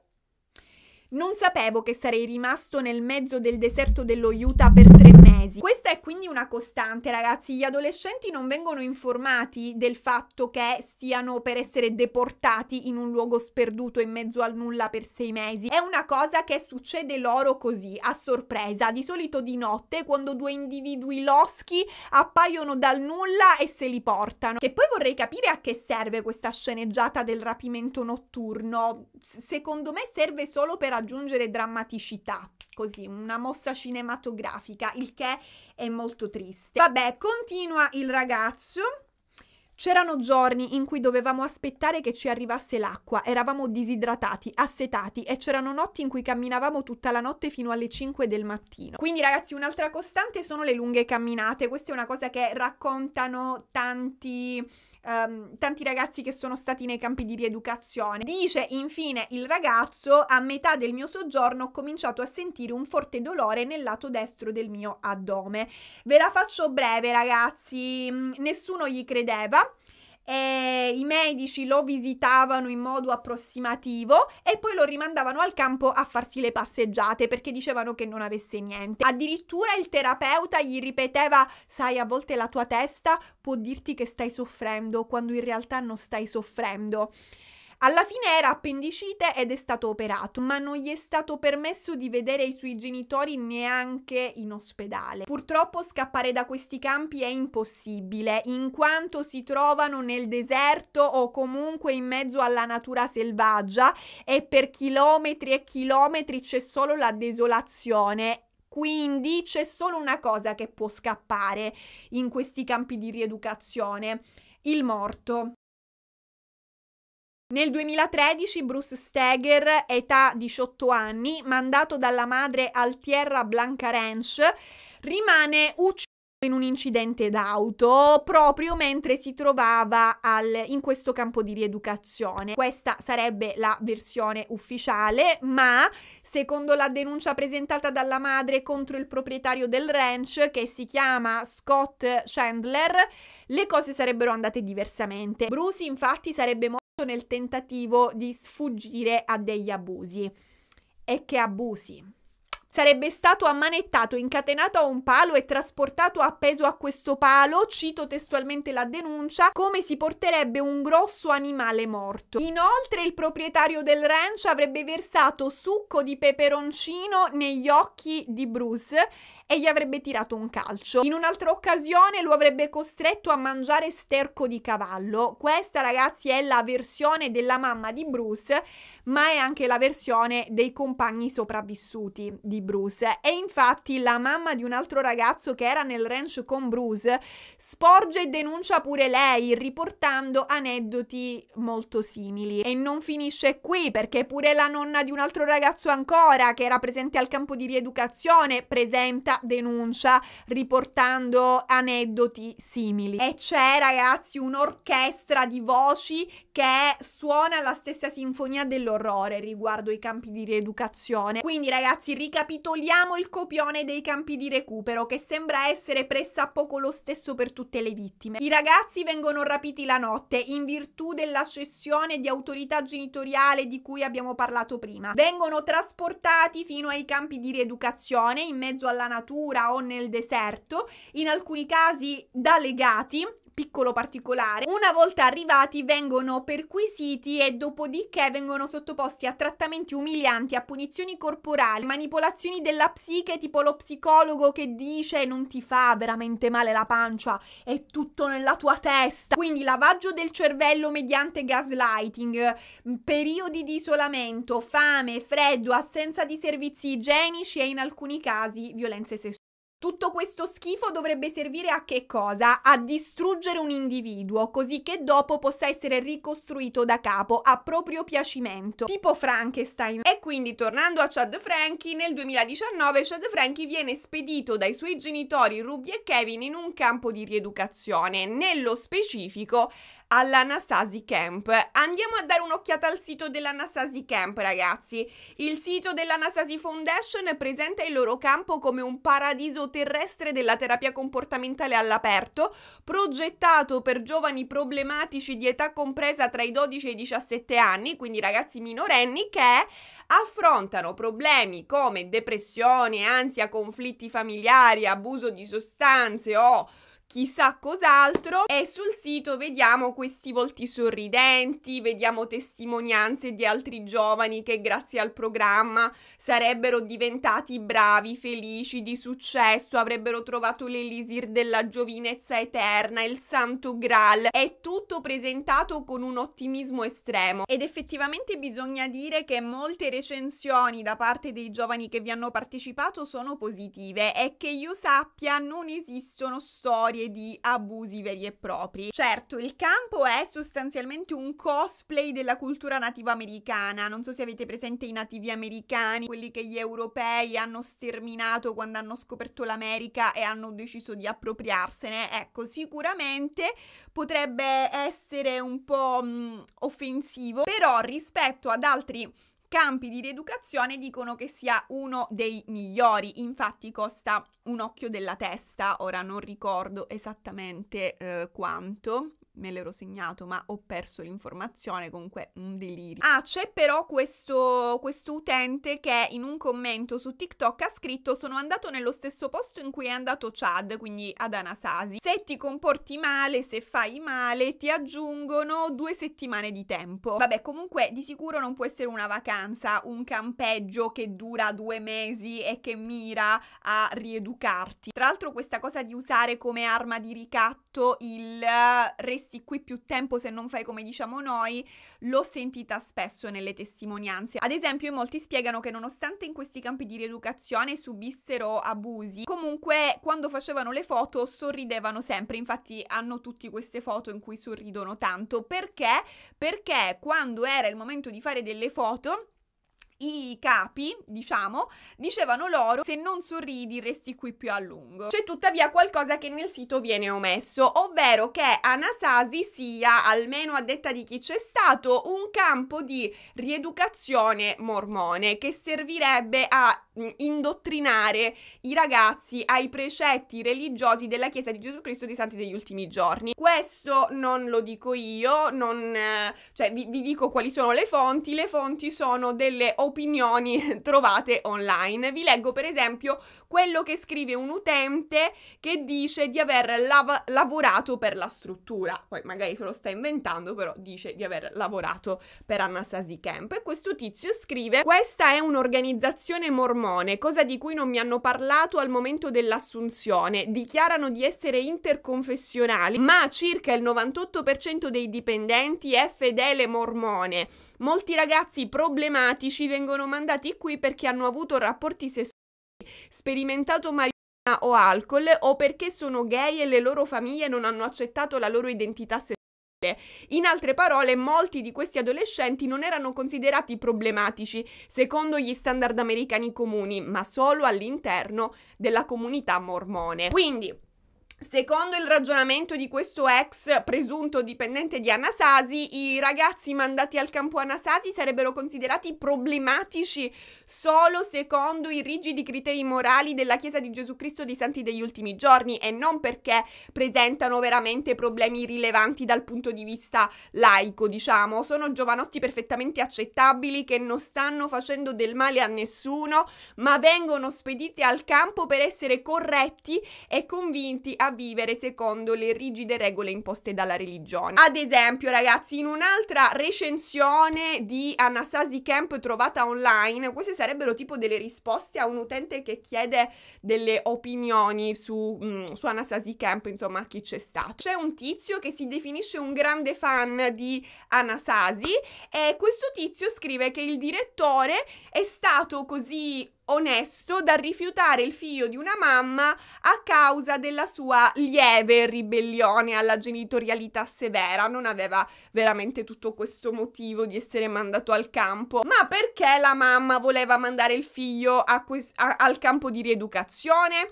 Perché ragazzi aveva trovato una lattina di tè freddo nella stanza di suo figlio adolescente e come abbiamo detto i santi degli ultimi giorni non possono bere il tè. Pensate mandare vostro figlio in un campo di rieducazione per insegnargli a non bere il tè? Cioè io mi sento in colpa tipo quando la mando dai nonni. In qualche modo questo Anastasi Camp quindi mi, ri- mi ricorda un po' i Boy Scout. I Boy Scout sono un'organizzazione cristiana che fa però queste avventure in mezzo alla natura. Io tra l'altro da piccola facevo parte dei Boy Scout, ero un lupetto e mh, mm, devo dire che questa storia dei campi di rieducazione mi ricorda molto un'esperienza fatta con i Boy Scout, l'unica. Infatti a parte gli incontri settimanali in cui ci ritrovavamo a fare attività varie di intrattenimento, mi ricordo soprattutto di questo campeggio perché i Boy Scout fanno questi campeggi che vengono chiamati cacce. Durante le cacce i capi scout si prendono carico di sta carovana di bambini entusiasti di, indos- di indossare foulard colorati e li portano in mezzo alla natura selvaggia. Io ragazzi, come vi dicevo, ho fatto solo una di queste cacce e poi mai più. Non mi aspettavo che fosse così terribile e adesso capirete da soli perché ho deciso di... cioè ho deciso non, non, ne ho fatte più, insomma. Allora, le giornate erano piene di attività che in teoria dovevano insegnarci a sopravvivere in mezzo alla natura. Per esempio, imparare a legare nodi e poi ci facevano fare altri nodi, poi mh, mm, imparavamo il linguaggio morse mentre facevamo dei nodi, ma alla fine ciò che facevamo più di ogni altra cosa, a parte i nodi, era camminare. Io ricordo queste lunghe camminate, ragazzi, penso che mi si stia sbloccando il trauma. Ci hanno fatto camminare per una giornata intera, dalla mattina alla sera. Ricordo quanto mi facessero male i piedi perché la strada era tutta così a ciotoli con queste pietre tonde che a un certo punto le sentivi tutte, tutte era tipo un massaggio doloroso, soprattutto con queste scarpe da trekking di merda che ci imponevano di indossare e che servivano in teoria queste scarpe a non farti male e invece erano già le scarpe a farti male. Poi la notte abbiamo dormito in sacchi a pelo posati su delle panchine. E c'era un freddo ragazzi por- per cui io non riuscivo a dormire. Gelavo cioè immaginate non dormire per il freddo come raccontava quella ragazza di TikTok. Cioè se solo in- invece di insegnarci a fare nodi ci avessero insegnato ad accendere un cacchio di fuoco. La cosa che però alla fine ha convinto mia madre a ritirarmi dai Boy Scout è stata che sono tornata a casa da questa caccia verde in faccia con la cistite perché non ho fatto pipì per tutta la durata della caccia, ovvero per un fine settimana. Non mi chiedete come sia umanamente possibile, però è andata così perché c'era un solo bagno con solamente un water, stavamo tipo in un capannone, era un capannone in mezzo alla natura, boh, non so, non so ancora oggi non so dove, dove eravamo. E quindi dicevo c'era un solo bagno con questo water che era tutto sporco, ma era sporco in un modo che non riuscivo a identificare, mi era nuovo quel tipo di sporcizia. In pratica era pieno di palle di peli. Ho questo ricordo impresso nella mia memoria, un gabinetto pieno di peli neri, cioè scuri. Noi eravamo lupetti, va bene, però lì ci aveva palesemente creato un lupo mannaro. In tutto ciò non avevo il telefono perché era vietato portare il telefono, quindi se anche avessi voluto chiamare aiuto non avrei potuto. In teoria, in pratica, eh, forse mia madre mi aveva nascosto un telefono, ora che ci penso, nello zaino. Ora ragazzi, la differenza tra i Boy Scout e i campi di rieducazione è che io al tempo ho scelto di iscrivermi ai Boy Scout, ce l'ho voluto fare io, è una cosa che ho chiesto io e l'ho chiesta anche in modo insistente. Invece ai campi di rieducazione i bambini per lo più ci vengono mandati dai genitori forzatamente. In alcuni casi non ne sanno niente fino a quando non vengono rapiti nel cuore della notte e portati in mezzo alla natura. Ecco, se io mi fossi ritrovata in quella caccia all'improvviso senza che l'avessi scelto io mh, mm, per punizione perché mia madre mi riteneva monella. Io non oso immaginare come mi, mi, sarei sentita abbandonata e triste. Peraltro, ripeto, ragazzi, la durata di una caccia era un fine settimana, cioè due giorni e una notte, non certo dieci settimane. Io ho passato una notte in quelle condizioni e già il giorno dopo stavo più attenta quando i capi scout spiegavano come si fa il cappio. Ragazzi, io avevo 8-9 anni e oggi l'unico nodo che mi ricordo è il cappio per quanto stavo attenta. Quando metto la cravatta sbaglio sempre. In ogni caso, i Boy Scout erano un'organizzazione religiosa, erano un'organizzazione cristiana eh, c'era questo legame con la chiesa, ma era un legame dichiarato. Gli incontri avvenivano in uno scantinato della chiesa, per dire, quindi lo si sapeva che fosse un'organizzazione cristiana. Anastasia Camp invece mh, mm, lo omette, cioè se queste cose sono vere, queste cose che si leggono online, se è vero che Anastasia Camp sia un campo eh, mormone, quindi di stampo religioso, Comunque questa informazione viene omessa dal sito, non viene dichiarata. Eppure Anasazi Camp pare essere proprio un'esperienza di indottrinamento in base ad alcune opinioni che si trovano online. Tipo questa. Distruggono i ragazzi, credo che intenda psicologicamente ma anche fisicamente, distruggono i ragazzi e poi li circondano con credenze mormoni e credenze omofobe. Ah, monitorano tutti i contatti con i genitori rendendo impossibile renderli consapevoli delle circostanze. Questo ragazzi è un punto interessante su cui non mi sono soffermata e ho fatto male perché in realtà è importante parlarne.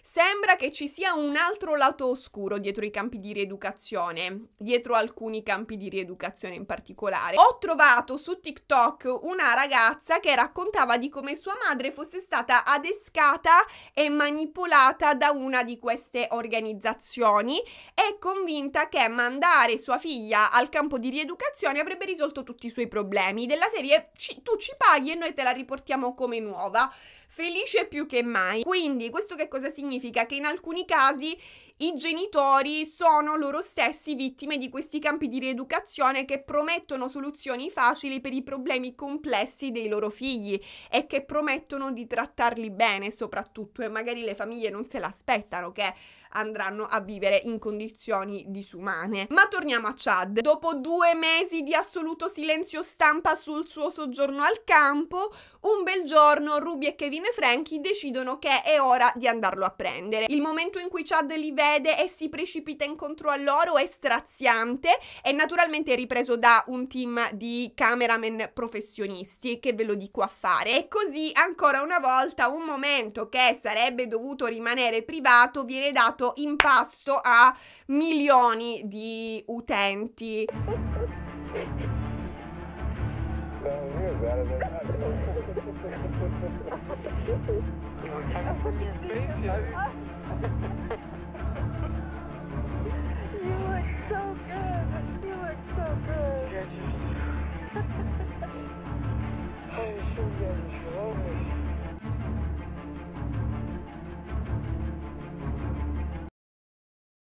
Neanche il tempo di tornare a casa che mamma Ruby schiafferà la telecamera in faccia a Chad e gli farà l'interrogatorio su Anasasi.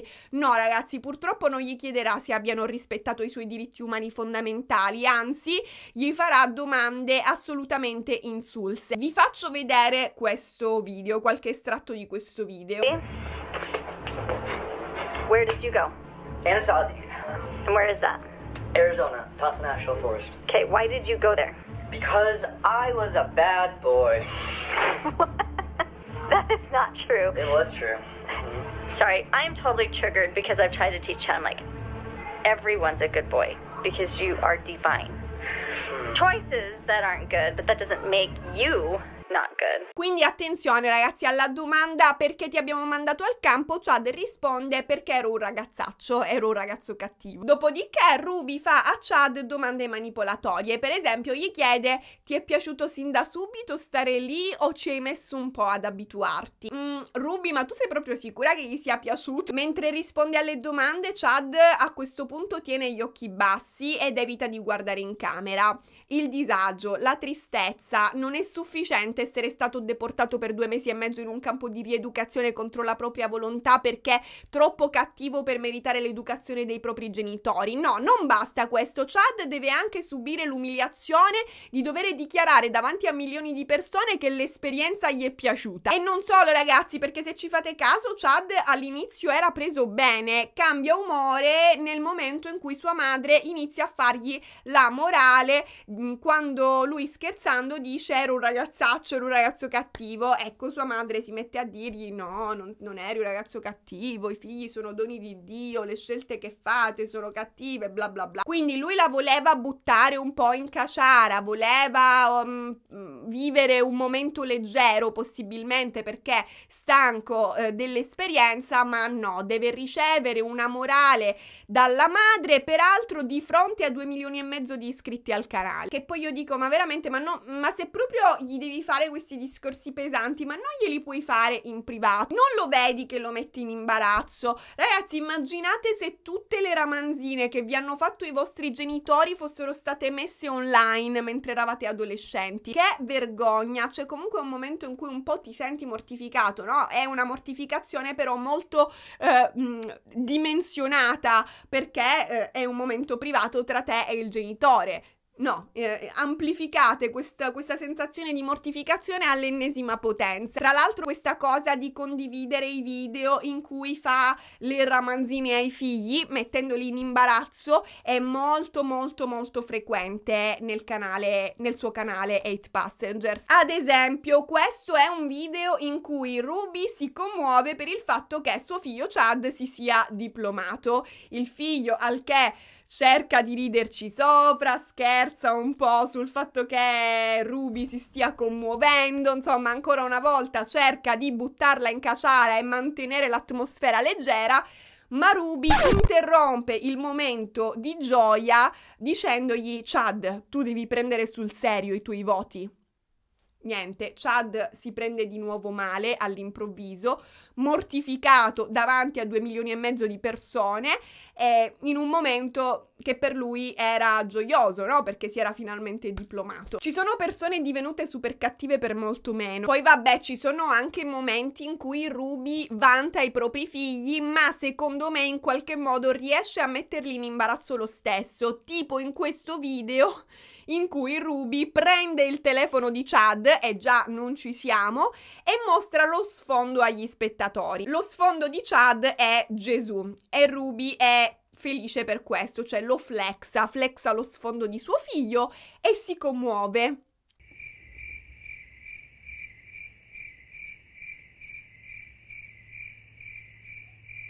Cioè, immaginate un vostro genitore che senza manco chiedervi il permesso piglia il vostro telefono e mostra lo sfondo a due milioni e mezzo di persone. No, ma io, io non ce la potrei fare. I'm not doing it to play good boy, okay?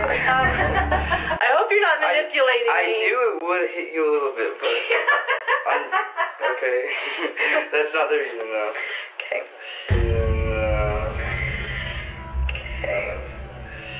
Ma torniamo all'interrogatorio di Ruby a suo figlio Chad. A questo punto Ruby chiede a Chad se intende rifare le stesse cose che l'hanno portato a questo viaggio. Lei lo chiama viaggio, l'esperienza ad Anasazi Camp. Chad, ragazzi, al che confessa di stare avendo una ricaduta. Perfect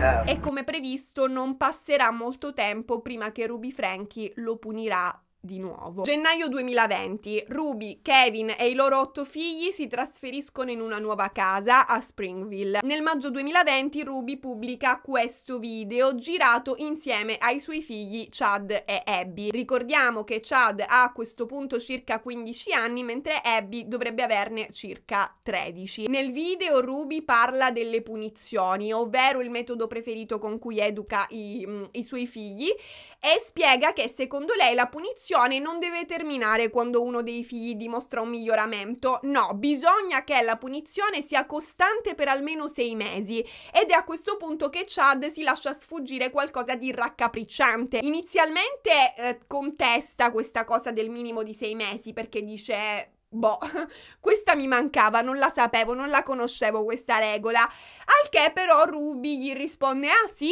Riflettici, ti ho mai restituito qualcosa in meno di sei mesi? Chad, ragazzi, ci pensa, ci riflette un attimo e dice: Vero, in effetti la mia camera da letto mi è stata portata via da più di sei mesi. You ever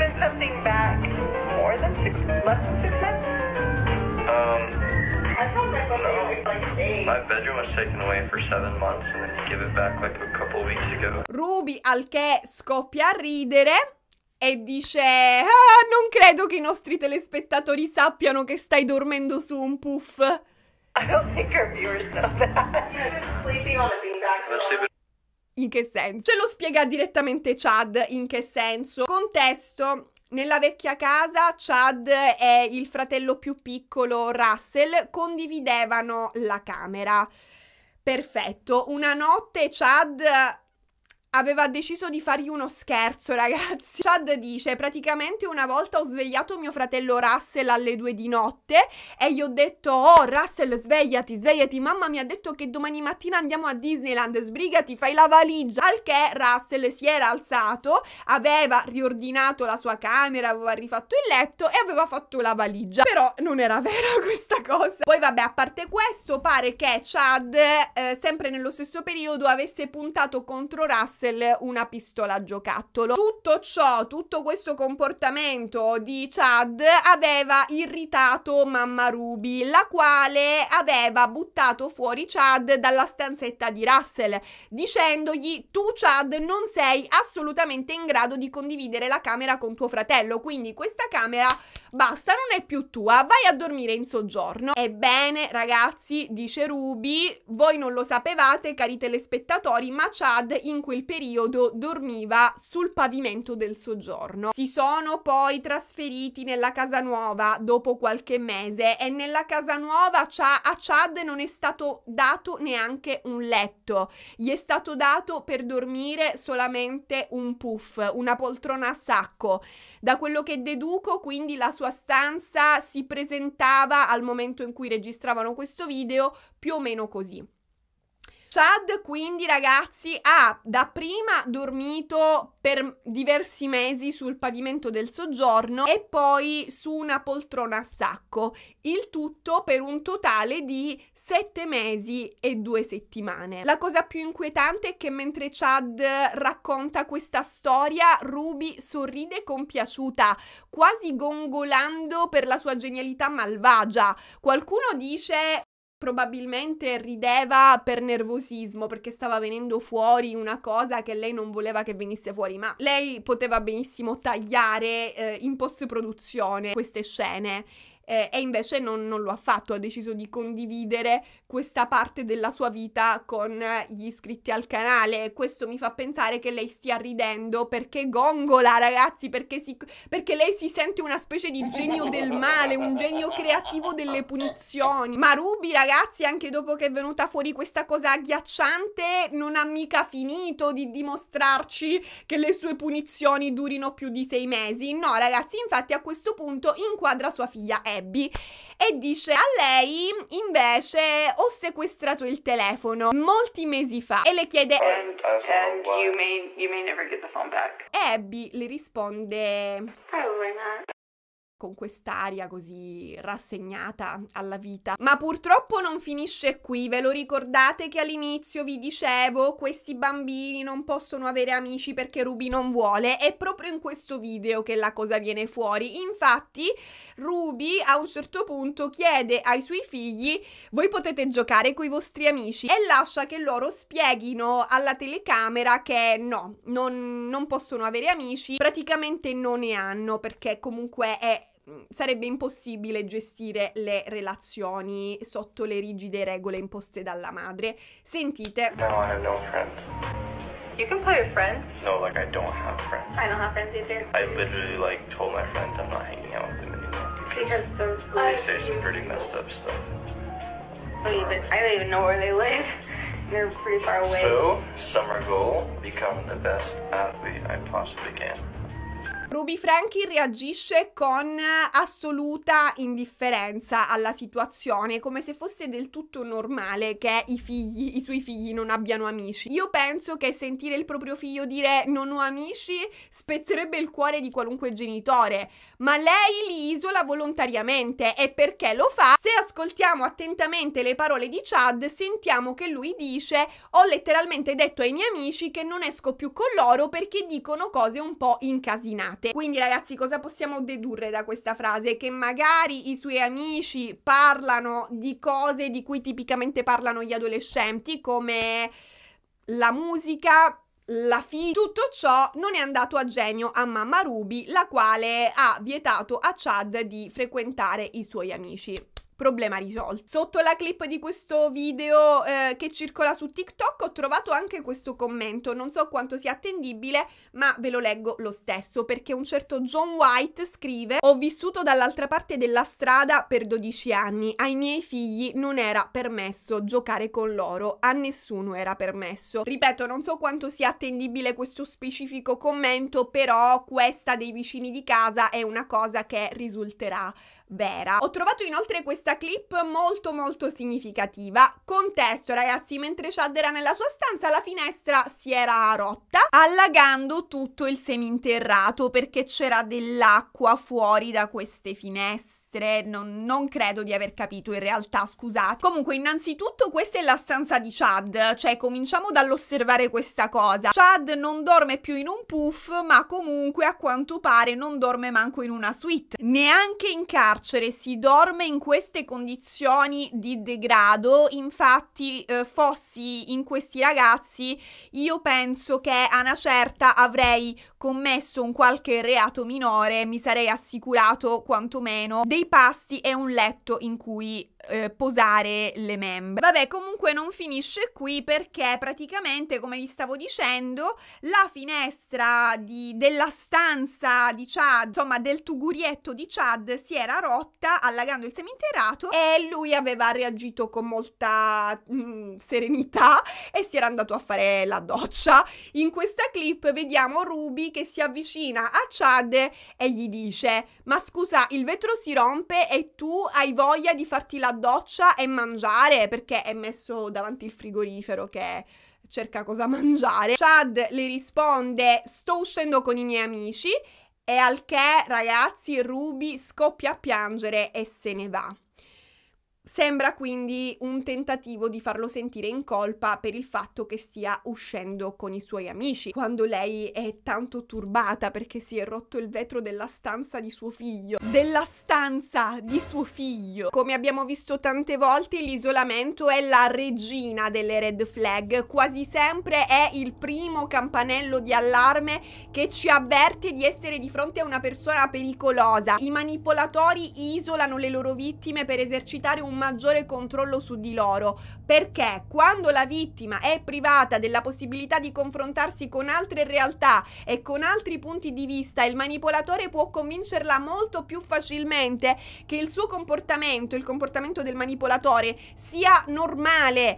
Così la vittima non cercherà aiuto e non cercherà di allontanarsi dalla situazione perché ai suoi occhi sarà tutto normale, non c'è alcun pericolo, quella è mm, proprio la normalità. Inoltre, quando vittima non ha un supporto esterno, non ha una spalla su cui piangere, il manipolatore diventa il suo unico punto di riferimento e questo la rende sempre più dipendente da lui, non lo vuole perdere perché è l'unica persona che ha e questa è la dinamica che si inizia già a intravedere nella famiglia Frankie. Ruby Frankie considera i rapporti sociali dei suoi figli come un'intrusione nella loro vita che grazie a lei è tanto controllata. I suoi figli sono disciplinati grazie a lei e quindi lei li vuole isolare da influenze esterne così che nessuno possa corrompere il suo duro lavoro con eh, degli influssi maligni. Lei e il padre devono essere l'unica influenza nella vita di questi ragazzi. Influenza nel senso di virus proprio in questo caso. Ruby in altre parole non vuole correre il rischio che i figli sviluppino opinioni e comportamenti non instillati direttamente da lei. Dal canto loro, i figli che non hanno molte occasioni di confronto con i loro coetanei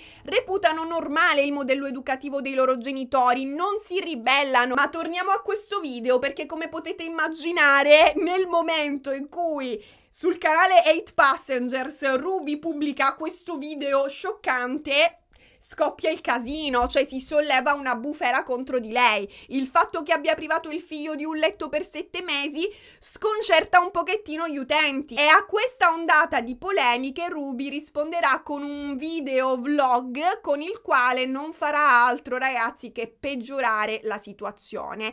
Ed è qui che io collocherei l'inizio della fine di 8 Passengers. Ruby Frankie in questo video dice: Ok, parliamone, parliamone. Io mi rendo rendo conto che qualcuno di voi potrebbe non condividere i miei metodi educativi, lo capisco che qualcuno si sia sentito arrabbiato perché ho tolto il letto a mio figlio per sette mesi. Lo capisco perché lo so che in giro ci sono tanti bambini i cui genitori sono negligenti.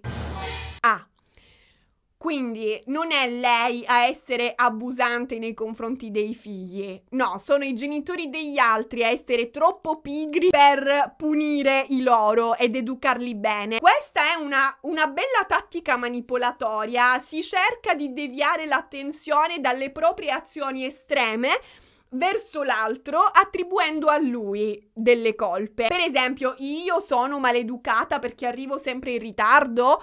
No, siete voi che prendete troppo sul serio gli orari perché siete persone noiose, vecchie. Oppure, mi stai dicendo che io dimentico sempre di restituirti i soldi? Certo che sei veramente una persona avara e attaccata al denaro. Questa è una cosa che in Sicilia si chiama prendere avanti. Certo che ci vuole coraggio ad accusare altri genitori di negligenza quando tu quella volta in cui dovevi portare tua figlia a Shari al pronto soccorso perché non ci vedeva, la sua vista peggiorava minuto dopo minuto, non si capiva che cacchio le stesse succedendo. Ti sei messa a fare la lavanderia, a pulire il bagno, a ripulire di nuovo il bagno, hai fatto il vlog in cui dicevi ho pulito tante volte perché sto temporeggiando, adesso mi sono anche messa in lucida labbra, è passata un'ora da quando avrei dovuto portarla al pronto soccorso. Sì ragazzi, quello che vi sto raccontando è successo veramente, roba che se Shari avesse avuto qualcosa di grave, la mh, mm, condotta di uh, Ruby, Fra- eh,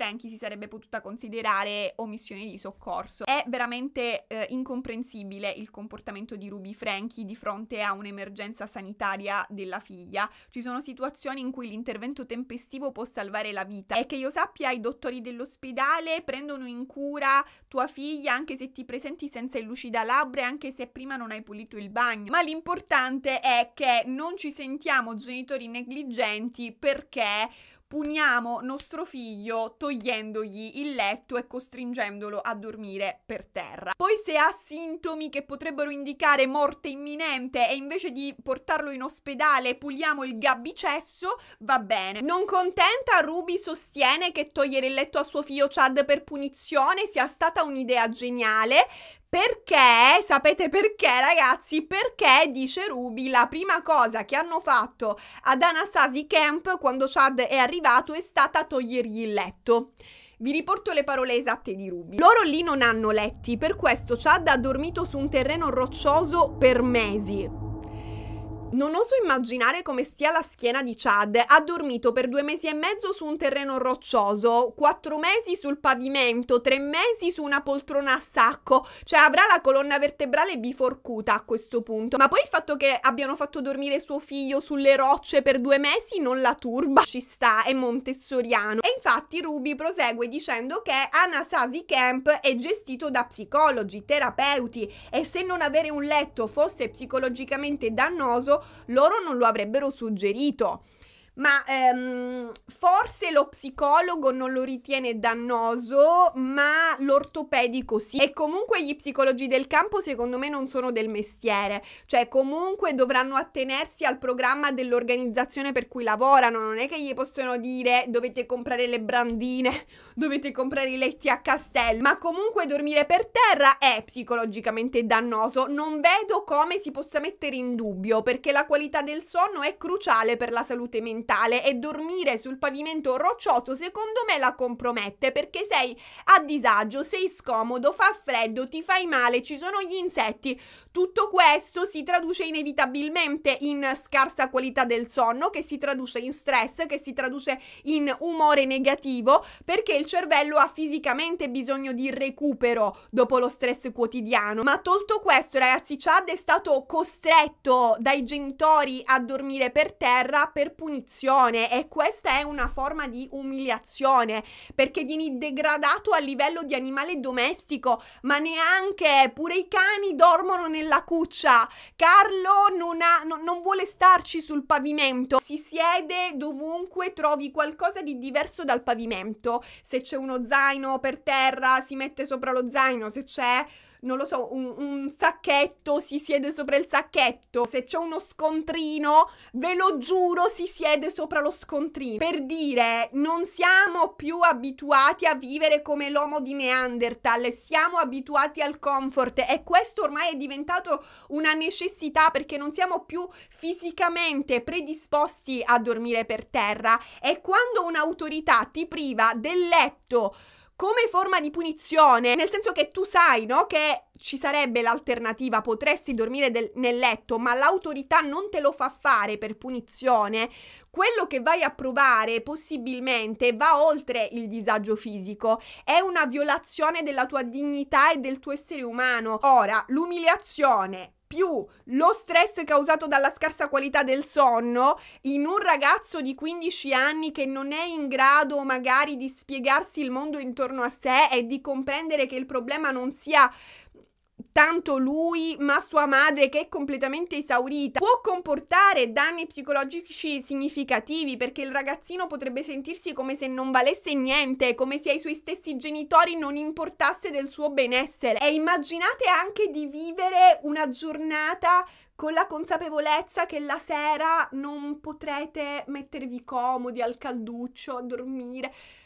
Eh, questo è un altro livello di tortura. Questo video di Ruby Frankie, con la sua reazione insensibile di fronte alle polemiche sul modo in cui ha trattato il figlio Chad, fa sì che il pubblico si chieda: ma non è che questa Ruby Frankie, niente niente, è priva di empatia nei confronti dei figli e pensa che i maltrattamenti sui minori siano punizioni? E quindi si inizia a indagare e i video di Eight Passengers iniziano a essere guardati dagli spettatori con occhi diversi. Per cominciare si nota l'uso cinico che Ruby fa dei suoi figli per ottenere più visualizzazioni. Adesso vi farò degli esempi e di nuovo ragazzi vi invito a immaginare che vostra madre avesse fatto questo a voi e che questi vostri contenuti intimi fossero stati messi online quando eravate appena adolescenti. Ok, in questo video Ruby Ruby inquadra una delle sue figlie e dice al pubblico È da tutta l'estate che lei mi chiede di potersi depilare gambe e ascelle. I think your armpits need to be shaved more than your legs do. When you start Pensate ai compagni di scuola di questa ragazzina che guardano il video. In quest'altro video Ruby dice, inquadrando di spalle una delle sue figlie, ah Julie non vuole farsi vedere da voi perché ha il viso ferito. Julie ti va di raccontare cosa è successo? Julie al che le risponde di no, non lo vuole raccontare, preferisce tenerlo per sé quello che è successo, ma ops, mamma Ruby dice alla camera, eh purtroppo mi sa che l'ho già raccontato. Do you want to tell us what happened?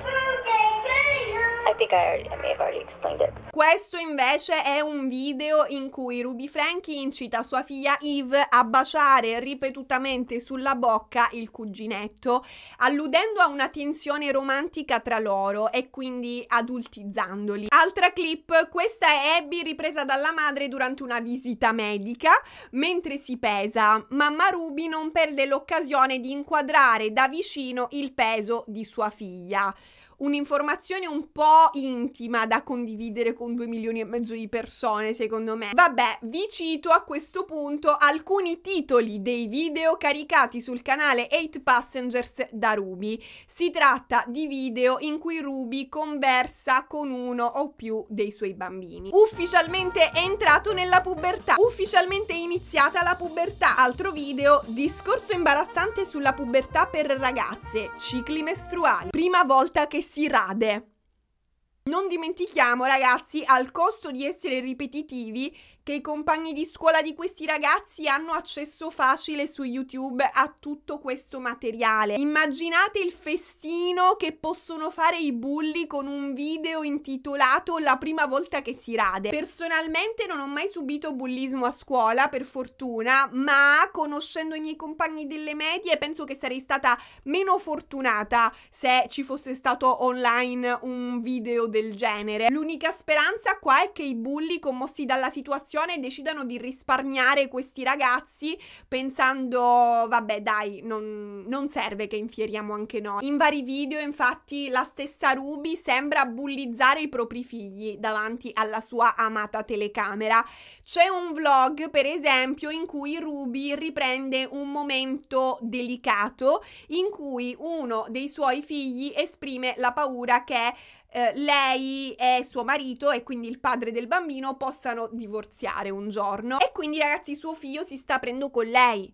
È una questione che dovrebbe restare privata ma come ormai sappiamo Ruby non è molto interessata a proteggere la privacy dei propri figli, quindi bam, sul canale YouTube. Ancora più sconcertante però è il modo in cui Ruby affronta la situazione, cioè invece di rassicurare il bambino dicendogli ma no, non ti preoccupare, non... io e papà magari a volte litighiamo, però alla fine facciamo pace, Ruby lo mette in imbarazzo e infatti gli chiede ma perché hai sentito me e papà urlare litigare. E quando il bambino le risponde di sì, Ruby si mette a ridere. Ride proprio a eh, grasse risate. E non contenta gli dice avresti dovuto rispondere di no. Questi episodi in cui Ruby si mostra insensibile di fronte ai sentimenti dei figli sono frequenti e quando questo atteggiamento le viene rimproverato nei commenti, lei replica così. Io, genitore, non sono responsabile di come mia figlia si sente. Se mia figlia si sente triste è una sua emozione e non è compito mio farla sentire meglio. Ma in base a quale legge? Perché mi risulta che legalmente i genitori abbiano l'obbligo di fornire assistenza ai figli, compresa l'assistenza emotiva. Se un genitore trascura le necessità del proprio figlio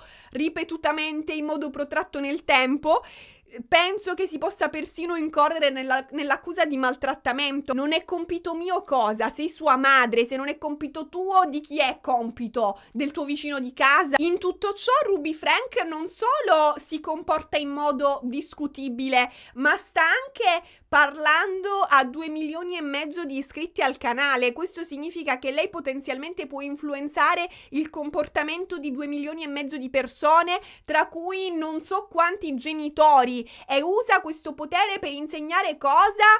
Per insegnare se vostro figlio è triste sbattetevene il cazzo, non sono affari vostri. Ma, ma Ragazzi, attenzione, è affare vostro lo sfondo che mette sul telefono. Ma cosa ne penserà papà Kevin del metodo educativo di sua moglie? Lo condividerà oppure no? Kevin, ragazzi, risponde anche lui alle critiche comparendo in questo stesso vlog di sua moglie, quello in cui Ruby diceva esistono tanti genitori negligenti. E anche Kevin fa il suo bel discorso, che io adesso vi riporto. Attenzione, molto tempo prima di avviare YouTube ci sono state molte sfide comportamentali ed emotive che abbiamo dovuto affrontare con i nostri figli e ci siamo consultati con professionisti della salute mentale ed emotiva per anni. Fate attenzione ragazzi, e le cose che mostriamo e condividiamo e le cose che molti di voi criticano e definiscono abusanti sono in realtà cose che i professionisti della salute mentale ci hanno consigliato. Scoppia lo scandalo, il 31 maggio 2020 su Change.org compare questa petizione che chiede un'indagine sugli hate passengers. Il testo della petizione contiene dei dettagli su quello che gli spettatori avrebbero visto sul canale di 8 Passengers nel, cos- nel, corso degli anni, materiale che oggi è andato per lo più perduto perché il canale ragazzi non c'è più, è stato chiuso, quindi questo testo ci è prezioso e noi andiamo a leggere qualche passaggio, anzi ve lo riassumo io. Secondo questa petizione Ruby Frankie un giorno avrebbe portato la piccola Eve, che all'epoca aveva tre anni, al supermercato nuda con solamente un pannolino addosso, praticamente sarà diventata lei stessa un surgelatino. Poi Ruby avrebbe detto in un altro video che lei non permette ai suoi figli di comprare più di 2-3 pantaloni, più di 2-3 magliette, più di 2-3 capi di abbigliamento per tipologia, perché fa parte delle sue regole limitare i capi di abbigliamento. E fino a qui ci sta, cioè lei magari li educa a non fare sprechi, no? Se non che in un video successivo Ruby avrebbe poi mostrato ai suoi spettatori tre scatole di vestiti suoi inutilizzati dicendo sto combattendo una battaglia per smettere di comprarmi vestiti perché lo faccio come antistress. Quindi, riporta la petizione, lei non compra vestiti dei suoi figli con i soldi che ottiene dalla loro presenza davanti alla telecamera, ma poi può comprare migliaia di vestiti con quei soldi e non indossarli. Capite che stiamo parlando di sfruttamento del lavoro minorile, perché lei guadagna molti soldi facendo lavorare i figli per YouTube, sfruttando la loro immagine, ma loro non guadagnano nulla e non hanno alcun potere potere sul denaro che loro producono. La petizione raccoglie circa 18.000 firme.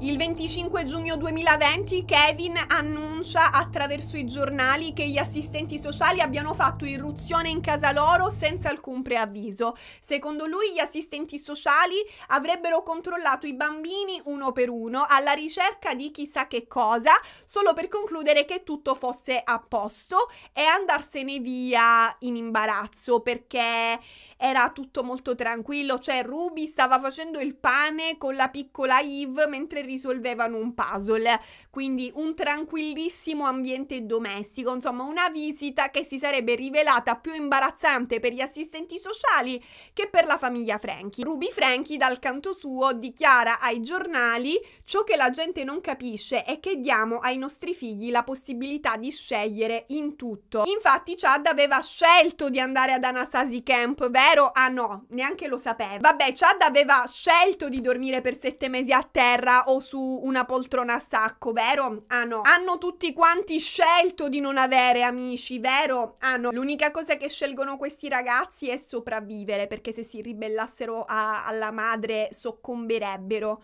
alle sue punizioni. A questo punto migliaia di utenti si disiscrivono dal canale 8 Passengers, le visualizzazioni diminuiscono drammaticamente, gli sponsor prendono le distanze e il caricamento di nuovi video diventa irregolare. Su TikTok circolano in modo virale clip tratte dai video di 8 Passengers in cui Ruby si comporta in modo abusante con i figli. La maggior parte di queste clip le abbiamo già esaminate ed è a questo punto che i figli condividono un post su Instagram sulla pagina 8 Passengers, post con cui difendono i genitori. Scrivono infatti i figli a tutti i TikToker, in particolare alle ragazze di 13 anni e a un uomo sui 40 anni che ci vuole adottare. No, grazie ragazzo inquietante, che non hanno idea di chi siamo eppure fanno queste affermazioni. Fatevi una vita. A tutti i nostri fan devoti che sono veramente preoccupati, vi ringraziamo per il vostro supporto, ma questo è ridicolo. Un video di 30 secondi estrapolato da un video di 20 minuti, estrapolato a sua volta da un singolo giorno non è una prova di abuso. Non avete idea di cosa sia il vero abuso. È incredibile il cambiamento che poche persone possono fare nel mondo ed è per questo che vi chiediamo di trovare una vera persona o situazione che ha bisogno di questo aiuto e dedicare il vostro tempo e la vostra energia ad aiutarli. Aggiungeremo la nostra voce alla vostra se ciò accadrà. In sostanza, ragazzi, i figli dicono preoccupatevi delle vere vittime di abusi, quelle che veramente necessitano di aiuto, non di noi. Sotto questo post Papa Kevin commenta Quelli sono i miei bambini, evviva, sono così orgoglioso dei miei figli per essersi opposti alla massa e avere affrontato con coraggio ed eleganza tutto questo nonsense.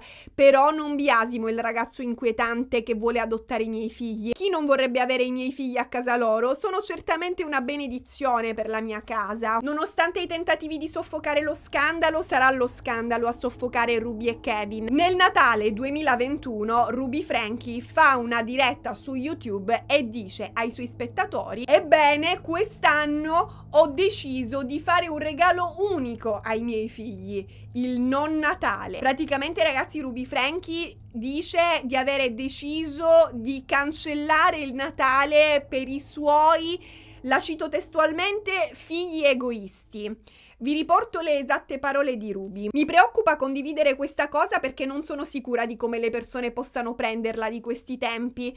Ma preoccupati di come possono prenderla i tuoi figli o di dove la prenderai tu continuando così. Kevin e io abbiamo sei figli. I due più piccoli hanno mostrato un crescendo di egoismo, hanno mostrato attraverso le loro scelte una riluttanza di pentimento, una riluttanza a provare dolore per alcune scelte che hanno fatto. Per questo motivo Kevin e io io abbiamo deciso che gli daremo il dono della verità per questo Natale. Vogliamo dargli il dono dei limiti e gli daremo il dono del pentimento. Notare questa retorica, ragazzi, apparentemente religiosa. Il dono della verità, il dono del pentimento, ma il dono del perdono mai. Anche perché sono sicura che qualunque cosa abbiano fatto siano già stati puniti sul momento e in qualche modo estremo. Ma prosegue Ruby. Così ci siamo seduti con loro e gli abbiamo parlato di quelle che erano le nostre aspettative ancora una volta e gli abbiamo fatto sapere quanto fossimo profondamente addolorati a causa delle decisioni che stavano prendendo e come eh, le loro decisioni abbiano influenzato i loro insegnanti a scuola, i loro coetanei, la nostra casa, i fratelli. Glielo abbiamo spiegato molto chiaramente e gli abbiamo detto che quest'anno non avrebbero ricevuto la visita di Babbo Natale qualcuno chiami la polizia, non solo passi un anno nel terrore, nella minaccia costante che tua madre ti punisca in modi mh, mm, brutalmente creativi, senza amici, ogni tanto senza cibo per punizione, senza letto, senza la porta del bagno, ma alla fine dell'anno i tuoi genitori ti privano pure del Natale e ancora Ruby e Kevin si aspettano che i loro figli si comportino bene con loro. Praticamente, cioè, non so se avete capito, ragazzi, quattro bambini scarteranno i regali mentre gli altri due no perché sono stati egoisti. Se non sbaglio è così che il Grinch ha cominciato a scazzare. E attenzione, come se non non fosse abbastanza crudele portare via il Natale ai bambini, Ruby Frankie considerate che questo video lo mette online. È questo è umiliante per i suoi figli. Ancora una volta, per l'ennesima volta, vi invito a immaginare, immaginate che vostra madre o vostro padre o un vostro tutore, quando eravate adolescenti, avesse pubblicato un video in cui parlava di voi e diceva mia figlia ha mostrato un crescendo di egoismo, ha mostrato attraverso le sue scelte una riluttanza al pentimento, una riluttanza a provare dolore per le scelte che ha fatto. Sono addolorata addolorata a causa delle sue decisioni. Eh, questo, quest'anno Babbo Natale non l'andrà a trovare. Una cosa del genere è potenzialmente dannosa per la reputazione di un adolescente e anche gli adolescenti hanno il diritto alla salvaguardia della loro reputazione. Cioè lei in questo video sta etichettando i suoi figli come egoisti e gli spettatori potrebbero farsi un'opinione negativa sui loro figli, opinione che potrebbe avere un impatto sul loro futuro. Ma a lei questo non importa, la sua priorità è quella di punire e umiliare pubblicamente i suoi figli per soddisfare il suo bisogno di controllo e dimostrare ai suoi spettatori di essere una madre esemplare. A questo punto durante la diretta si collega con Ruby una certa Jodie.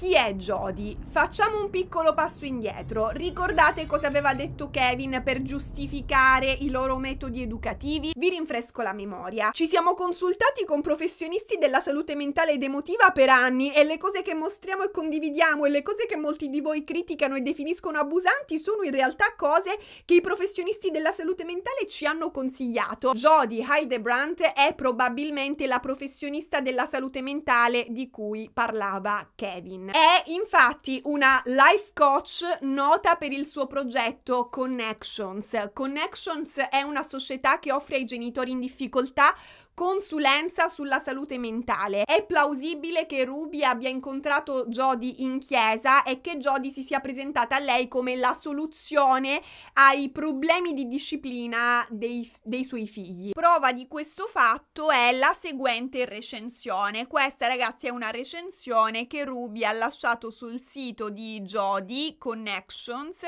proprio in quel periodo, nel periodo in cui le è salito il Grinch e ha deciso di cancellare il Natale. Valutazione 5 stelle, Ruby dà 5 stelle al, a Jody e scrive le chiamate individuali di Jody e le lezioni di gruppo sono state rivoluzionarie per la nostra famiglia. Credenze false che persistevano da anni sono venuti a galla in settimane, cosa che anni di terapia non erano riusciti a fare. Dirò che chiunque ritenga le tattiche di Jody discutibili semplicemente non è pronto ad assumersi la responsabilità delle proprie scelte.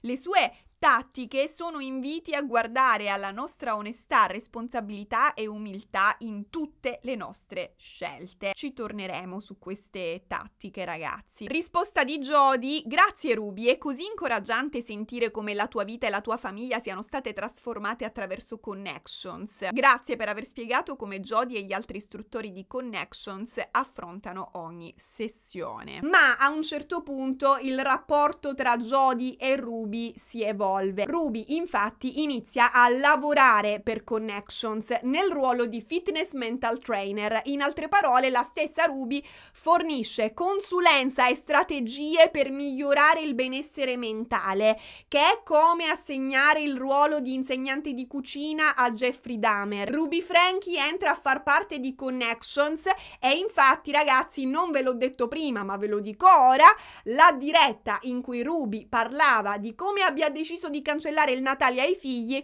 va in onda non sul canale di 8 Passengers ma sul canale YouTube Connections di Jodie Hildebrandt e in collegamento con loro ci sono anche famiglie che ascoltano i loro consigli. L'arrivo di Ruby Frankie fa decollare il progetto Connections, ma parallelamente la sua gestione della vita familiare prende una piega Ancora più preoccupante, da questo momento in poi le punizioni di Ruby Frankie diventeranno a dir poco estreme, cioè se fino ad ora lei vi è sembrata severa, credetemi non avete visto niente. La filosofia di Connections, ovvero la filosofia di Jodie Hildebrandt, infatti è particolare, diciamo che ha un approccio, cioè propone un, un, particolare approccio all'educazione dei figli e in questa filosofia Ruby troverà una sorta di giustificazione agli abusi perpetrati nei confronti dei suoi figli. E l'influenza che Jodie avrà su Ruby sarà tale che anche Jodie Hildebrandt verrà alla fine arrestata e non potrà fare altro che dichiararsi colpevole di abusi aggravati sui minori, tra cui la tortura fisica di due bambini ma di Connections e della collaborazione sinistra tra Ruby Frankie e Jodie Hildebrandt parleremo nel prossimo capitolo.